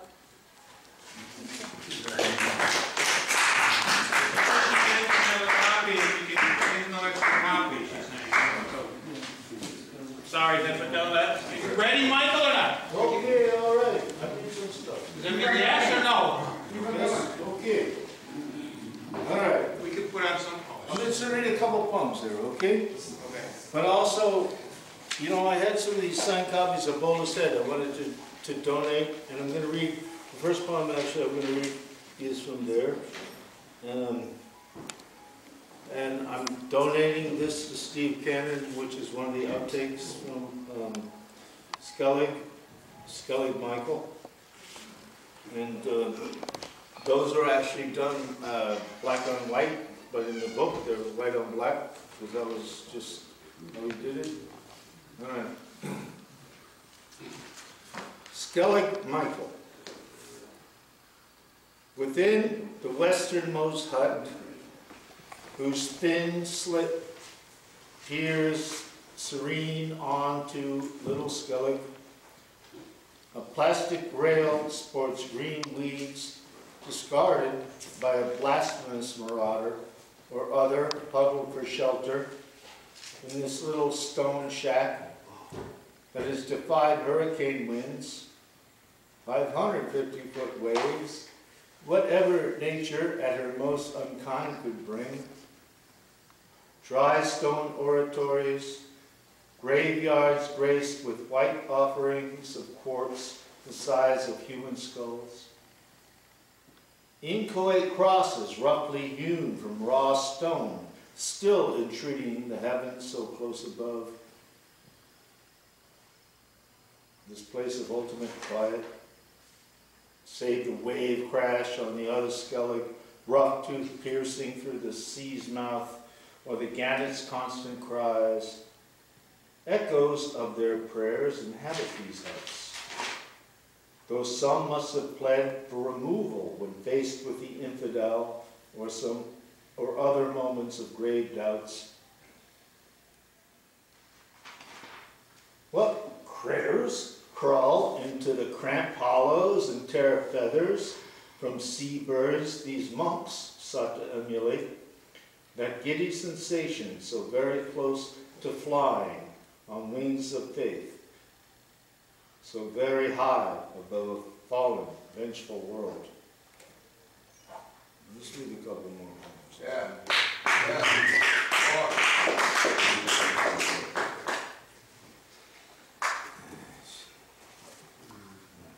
Now this one I wrote in 2006, uh, but just this year it became much more, uh, how should you say it, uh, contemporary. It's called Rhinoceros. when the rhino has rhinitis, it trips all over Nairobi. Big nosed horn dog trampling the innocents like an Israeli airstrike. 23 tons of snot smeared over southern Lebanon, leaving bloody footprints and shaking the fogging firmament. When the Rhino has rhinitis and reaches for a big inhaler, snorting up steroids. Mm. Yam steroids, though. Y'all have it. Like Bonds on a bad day, worse than Dr. Gooden careering down the Great White Way when the Mets won it all in 86, back when he could still lean on a straw. How do you circle the world, big rhino, trapped in an asthma inhaler? How do you say allergic in Punjabi, Cambodian, Farsi, and Polish, French, Armenian? Snuffling the broken characters of modern-day Babel, shards of inspiration which infect the huge prehistoric pea brain? Where is the disclaimer when the rhino exceeds its limits, overdoses and dozes into coma? Who will tame the black beast running amok over African veld with the ghastly wraiths of Ebola and AIDS?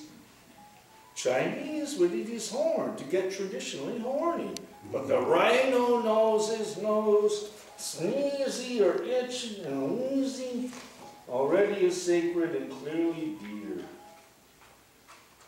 Mm, sure. Okay, I'm just going to read one more poem, all right? This is another one. All right, no, this is a very short poem, all right? Ron, Ron, I'm going to read this one. I'm going to Six read more this one. people. You know, the last time I read here, I read that poem when Putin did this shit in Crimea. So I wrote this poem about when Putin did this shit with the fucking uh, Malaysian, uh, you know, uh, uh, Yeah. yeah. yeah, it's called Buke. B-U-K. What would the Buke say? The way words get spun round by decades. Now, ripped means some guy with too much muscles. Vladimir in his boxing shorts. Not your average alcoholic experience. I know Buke was fond of that one. And Ground Zero, a pesky gallery on 10th Street, morphed into a huge hole in the ground by 2001. LBJ became the new Michael Jordan, and Cleveland, the new Camelot. Isis, life-giving goddess, and haunted song by Bob Dylan, devolved to a bloody bunch rekilling the Crusades. Putinesca was something you put on pasta, not the carnage-strewn byways of the eastern Ukraine. So I will, I will sign, it, it, you know, you have to get normally. What are you selling? I don't know, I, I, I sell this, I sell. Well, how much are you selling it? You have a a minimum bid? No. Does he get the money? You know what, I'm just giving the, the first poem I read, that goes to Steve Cannon, all right? Whatever he wants for it, that's okay. Okay, first poem. Huh? Thirty-five, uh, thirty-five Ellie cents? Michael, it's right there. Thirty-five dollars? It's a print. Is he auctioning Oh, this it's a or not? print, it's a print. Okay, it's a print, we start at five dollars for the print. Well, Oh, the book, you doesn't want to sell a book. Yeah, no, I don't want to put hundred the bucks. print. And the book, see, these books are not signed. I can sign it, but What's then you the got to get for? Brian to sign it. No, I brought the wrong ones here, all right? Yeah. So he's selling one print, is that correct? Let's get this One correct. print, you're selling a One print, five dollars, if nobody else buys it, then we won't sell it. No, no, no. I think we're all stripped of money, but. Dude, the reserve on that is two hundred bucks. Prostates. I, I'm, I'm donating that print to Steve Cannon. Oh, I tried to sell it. Oh, it's got the print. That's at enough. five bucks. No, no, he's not selling Five Steve, bucks. Steve, he's not selling it, donating Oh, it. he's donating a print. I'm sorry, so we're not gonna, so we're not gonna sell it, we're gonna roll on. So We gotta now those two big. Calm down, no, he's getting some incredible thing, something, okay, now, the next reader, there's a pair of readers here, they're gonna read together assumingly, because their names are on the same uh, line. The invention of smell-o-vision was not that easy task that you everybody thinks it was. It took a locked room, a thousand bottles of perfume, and a broke snifter. Serge Pay and Chiara Mutas, right? They're not reading their name on it. You? Come on. That's good. Say, uh, At least one person can on If you could, my friend. No, we don't get it French. We're the cultured people. Even French. She knows French. Here are the French. Don't worry, I'm not translating. I don't. How many people here know French? We all know French. One person.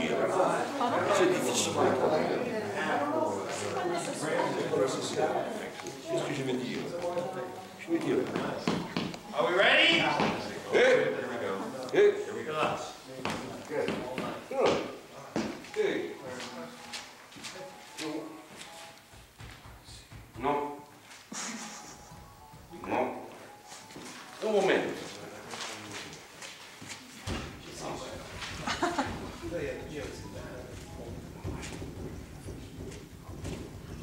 Entends. Le ciel palpite comme un organe, comme un foie. Un bruit de corps et de lézard. La fin furieuse du ciel derrière le soleil. Quelqu'un porte une ceinture de houille et enfonce calmement ses cuisses dans une eau morte. Un bruissement entre nous, une fenêtre qui se vide. Là-haut, il est cheval de neige, enfant archéologue de l'utérus muet. Solitaire de lumière, voleur d'eau provisoire, avec un filet de silence, péché des mémoires de noyés. De noyés Ah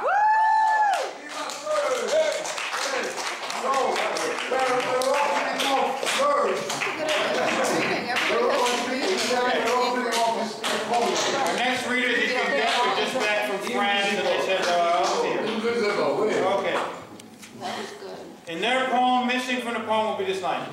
Le peste de jardin sur les jours de la même grenadier. Steve Dalachinsky.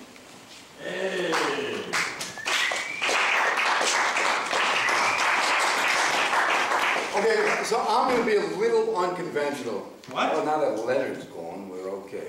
So, now listen, so I'm auctioning off Zara Litsky's book that I did the collages for.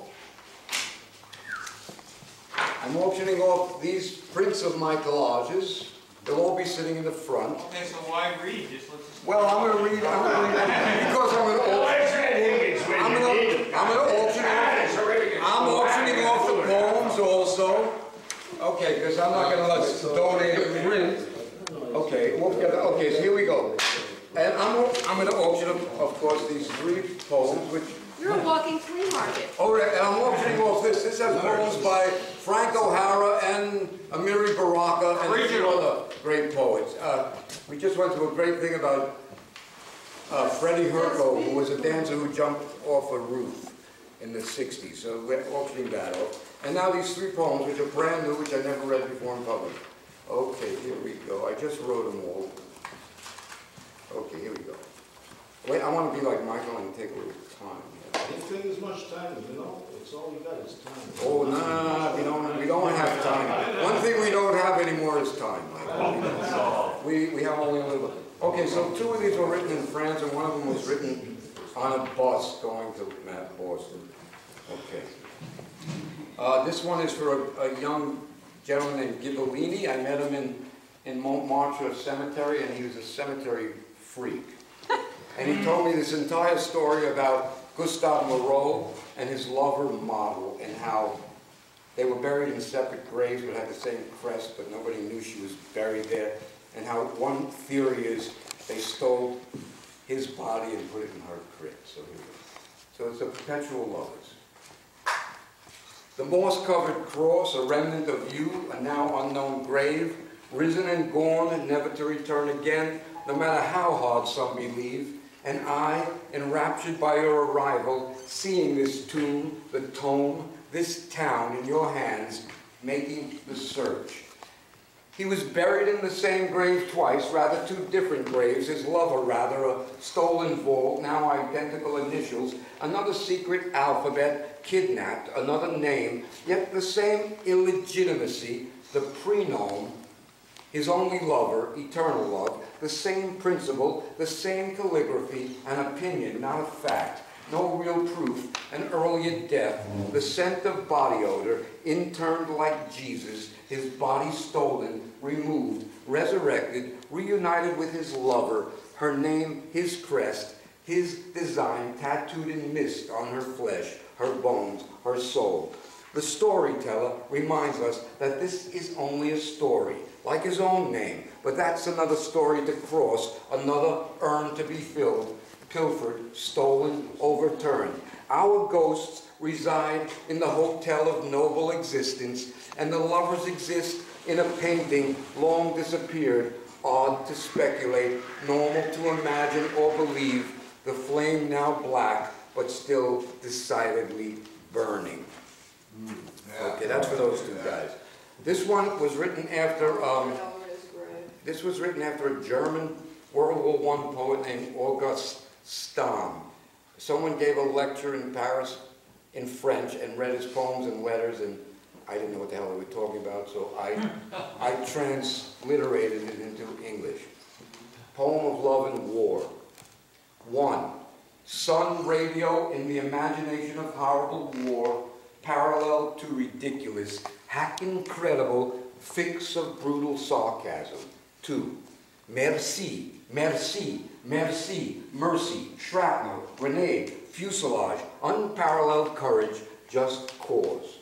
I sit in the parlor awaiting your return, oh atrocity. Merci, humanity. Understand? The person, the bell, the armor, the looking glass, devil language, universe of death, the horse, the mountain, marching, marching, marching. New expression and day and its limits, and space and its triumphant conscience. Without extension or discussion or dissection or conscience, what is left?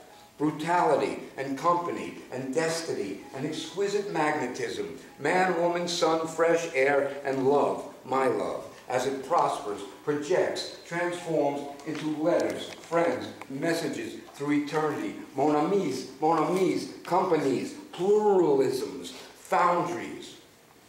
What is left of a tired country and what continues to reason in this floating world, marching and marching and marching and marching, and marching. And tomorrow our terrible love resumes. Our horrible love resumes. Our love, our lives, with our fatigue within this eternal and shattering war of cadavers.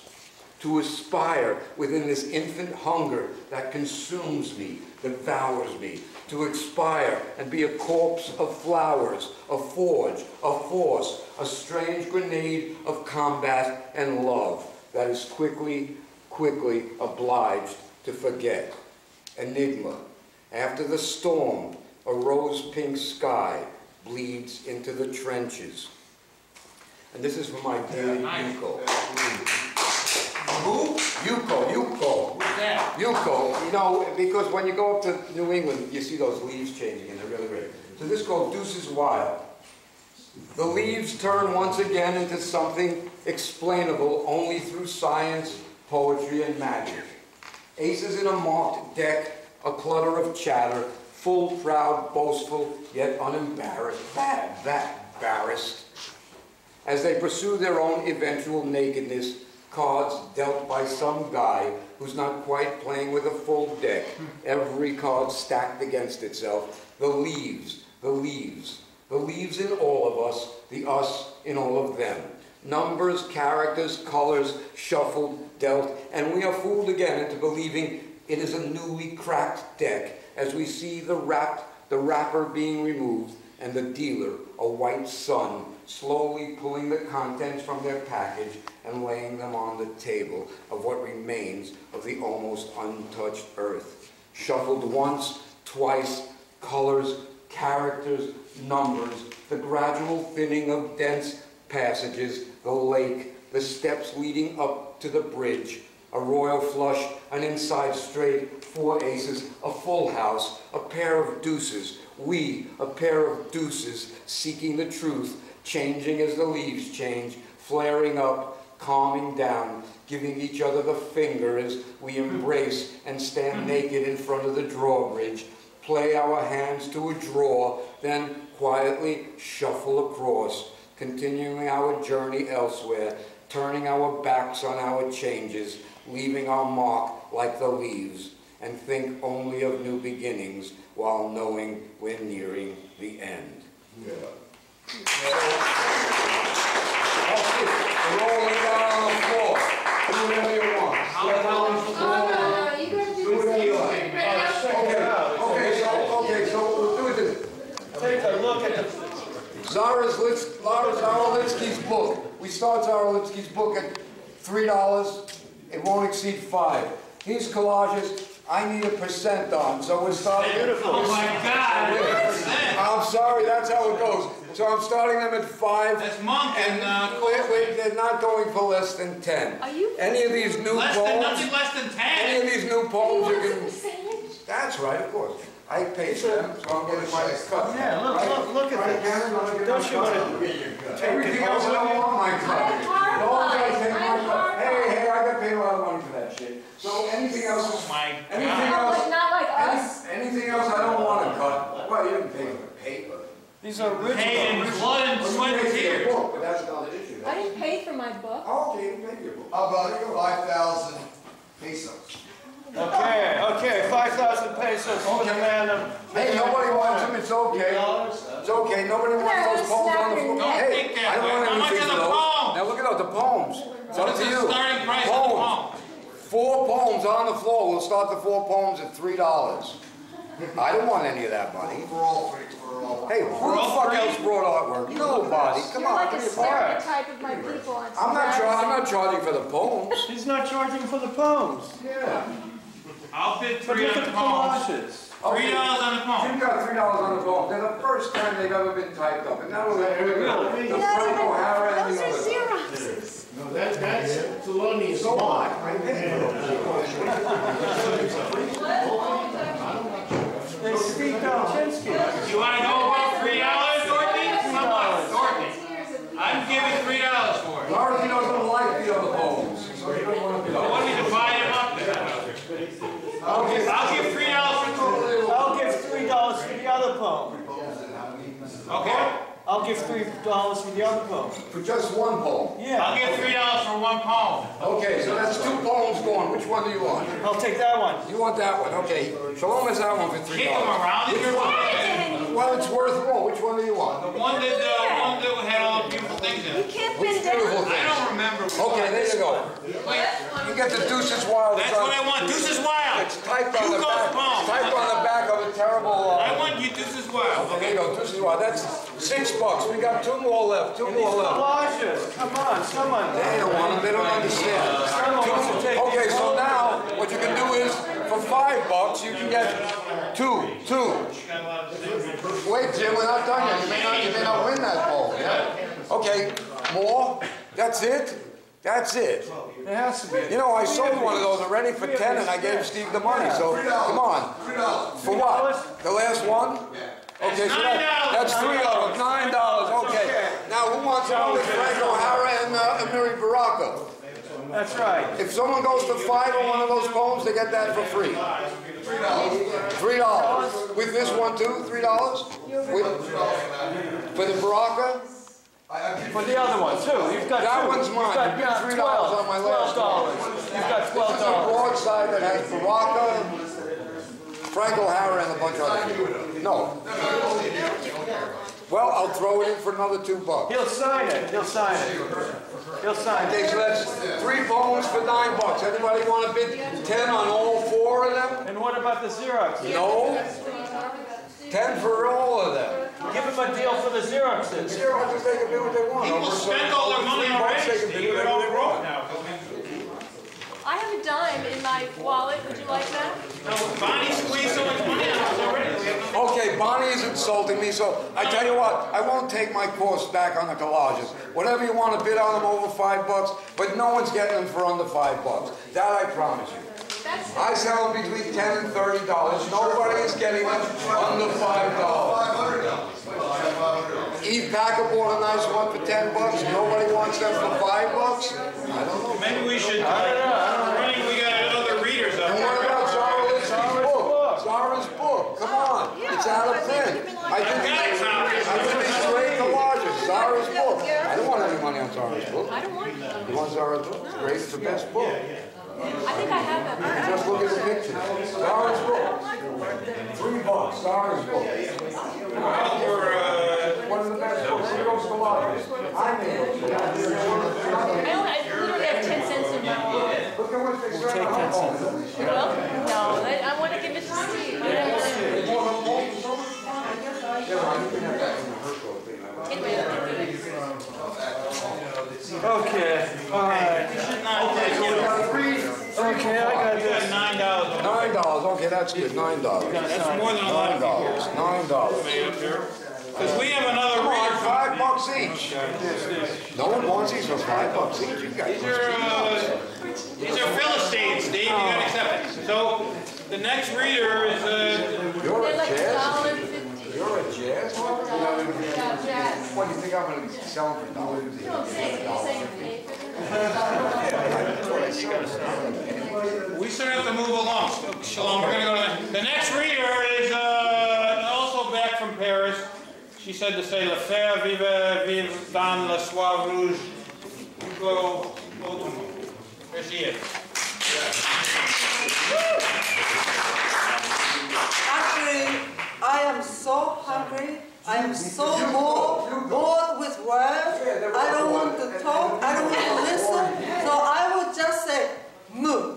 That means nothing in Japanese. And I, I've drawn the language. This is whatever whoever wants to. That's very Mu, cool. nothing. Whoever, so whoever wants. I signed it. I just, I just did it here, so. You are the yin to his yin. I mean, you are the yin to his yang. That's handwritten, my. Yeah, I just, I just did it here. Anyway, I'm hungry, so let's go inside. Original work of I just got drawn. Now we have ten cents, Leroy. Now we have 10 cents. I'm not gonna bid. It's a drawn uh, character in Japanese, signed. If I had money, I'd buy it. No, not even a dollar. I've been spending so much money on Steve already. I bought a book when I, when I get ours See, nobody, nobody wants me to It's draw. worn out. Someone has to, Well, isn't that up to? someone has to come up with a couple, Oh, I don't know how that works. five, ten bucks for this original. Unusual. I just did it, yeah. Steve, you can buy it. More. I'll give you two bucks. Okay, good. That's it, nobody wants my wife's original. Everybody spent all their spending money already. I got it written, Ron, Ron, you don't, you don't want my wife's original to put the Fales Library? I spent every cent I Two dollars, Ron, Fales Library. Oh, oh, Come on. could. Okay, I'll put in a dollar if you put in a dollar. Okay. I know, seriously. You already said always two do. dollars. Wait a minute. Seriously, don't have any money. I don't wanna give Steve Conrad any of my money. No, no, no. That's how it works sometimes in this world. Now, Okay, who has, who has two bucks? here, here, look. What's that? I for the Fales. I don't have two dollars. It's getting a little confusing, kid. We're gonna get to the next reader. Yeah, let's do that. What? Let's get You to agree? That. Yeah. I- We got only a couple more readers. Can we get roll with the money? Yeah, let's go, let's go. This is how money seems to destroy our poetry community. Along with- along The lust for money. Collect the money. Our next reader is very important. He's got, you know, he's the guy who, uh, in uh, an incredible image in his poem of case hardened steel and stone cold icicles along the covered bridge at dawn. That's Big Mike. There he is. Big One Mike. and only. Okay, uh, I guess in the spirit of the, of this, of this, tonight's presentation, such as it is, you get an original Big Mike, and it's, uh, it's actually my nom de plume on Blogosphere, it's St. Blaze. It's called Best Bra and Show. I'll give you the first two that didn't win, and the best one you'll, you can buy for the last. It's actually got today's date on it because I wrote it today. I wrote it in 1535. It's in military time. It's 3:35 this afternoon. So this is a brand new poem. I just wrote it this afternoon at 3:35 p.m. If you want to find out who has the best bronze show, you buy it. How about that? Okay. Army Corps of Engineers. Severe, stern, sexy, septuagenarian, blonded up, butch cut, cruel, BD, S&M governess, dominatrix, mistress, in velvet loan jacket and mini skirt, wearing thigh-high black leather stormtrooper jack boots, glowers down at me through steel room bifocal spectacles. Well, I see you wore your lederhosen this morning. If it were lederhosen, I would have leather suspenders across my chest. This is my Irish outfit. Well, all you need is a Pete's cap with the long turkey feather stuck in the brim to complete that Tyrolean alpine look. Mary Lou peels off her silk pastel lime green pinstripe blouse, revealing her champagne tone underwire push-up polyfill bra. Administer influenza vaccine. Sheena is a punk rocker, but now at age 55, she works for the IRS. A plus-size sweet little Ramona, she peels off her black and neon maroon pinstripe blouse, revealing her black and white camel print underwire push-up bra. Chunky, chubby, Joan Jett of the Blackhearts, gone to seed, stuffed inside black skin-tight jeans with black overdyed hair and red rouged lips. Do you feel traumatized? No, but I do feel old. Well, I'm older than you are. You know, just last weekend at the Pyramid Club in Alphabet City, some little 20-year-old told me that her mom remembers me dancing wild at the Pyramid Club 30 years ago in the 1980s. Stiv Bators spat my face at CBGB's in the 1970s. In my day, it was called gobbing. It was a, considered a sign of respect. If the audience felt inspired by the musicians on stage, they would gob on the band.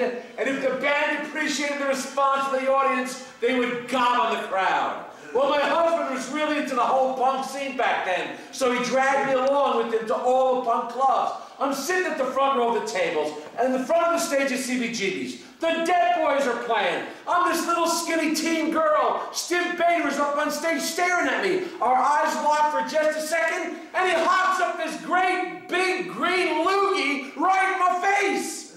Well, it must have been love at first sight. Administer influenza vaccine. So you want to find out who won the best bra on show? I don't know. How much? How much you can bid for this?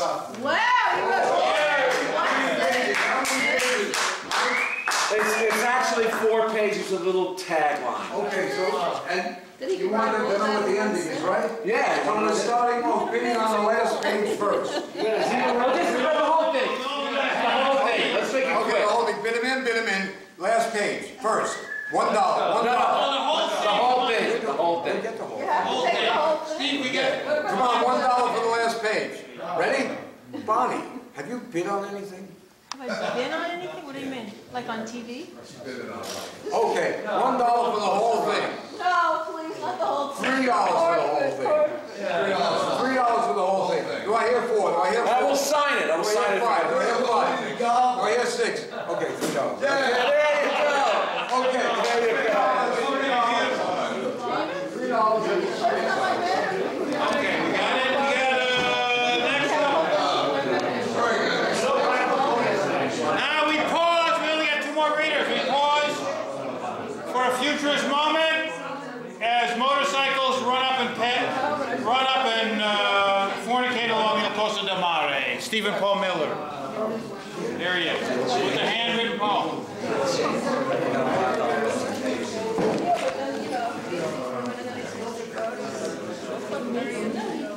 Hey, the owner of my own bidding plan. Do you want to come eat with us? FYI. On the corner, rice and beans. That was really good. Did you get one of the You didn't get one? Some of these are handwritten, some of these I worked out on the page. Handwritten work coming up. Ronnie, hold on.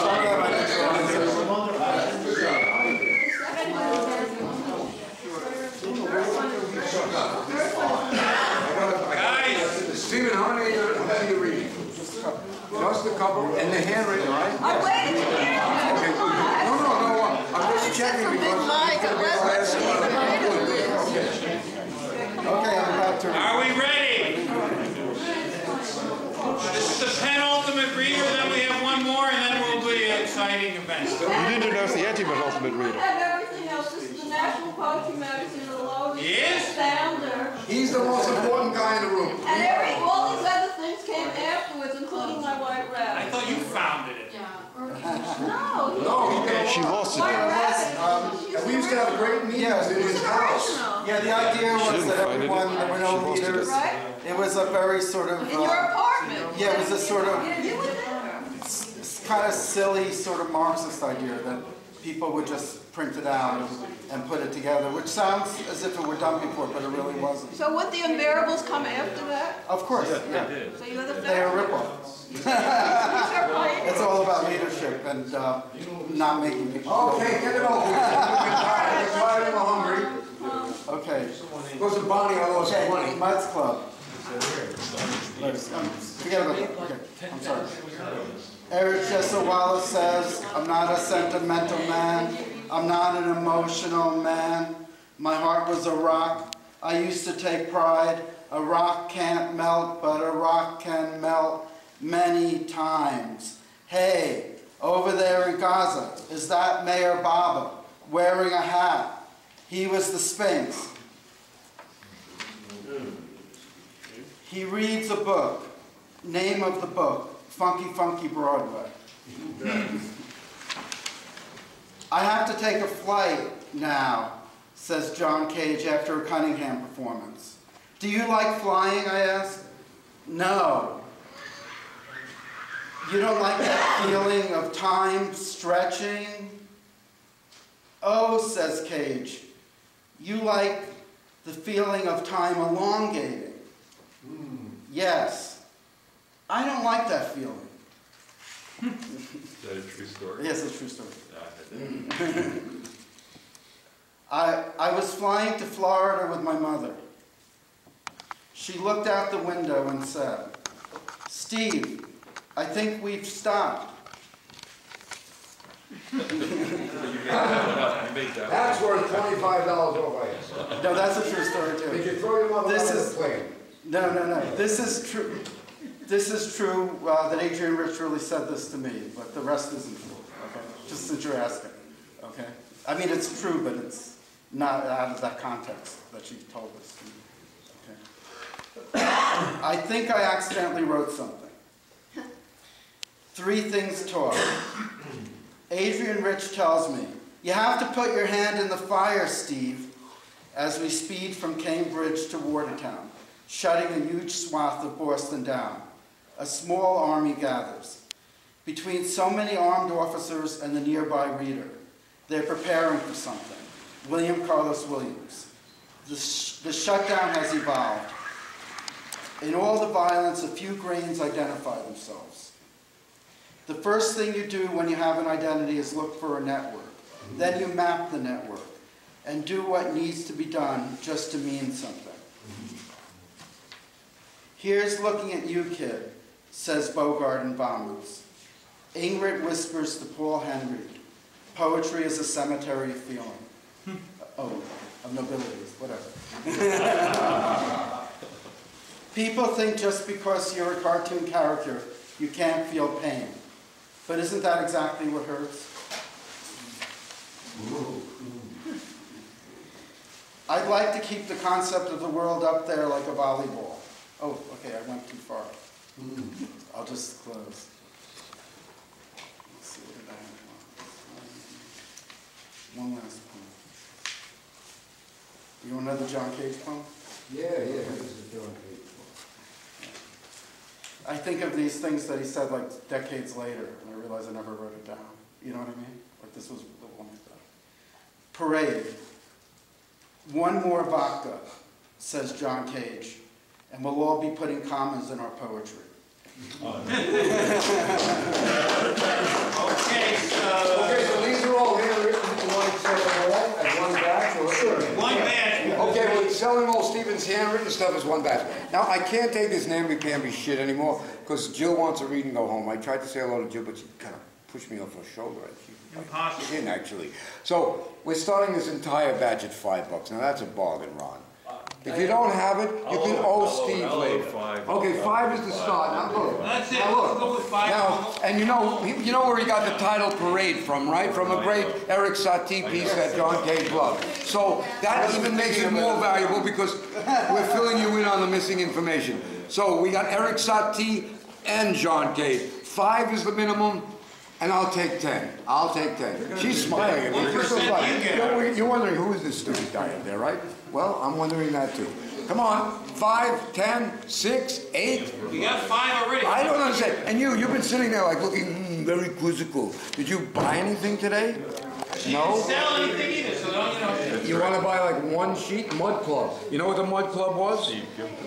I actually got Uh, friends. Steve- uh, Steve- Okay, five bucks. You Okay. Jill's gotta go home now. She's gotta leave early, she said. Jill just mentioned she's gotta leave early, so we're putting her on. Uh, you ready? Jill has gotta leave early, so. Le Chien de Nuit, trouve le Château Laveau. Jill, you have the. Is she the last one, Jim? Last, the last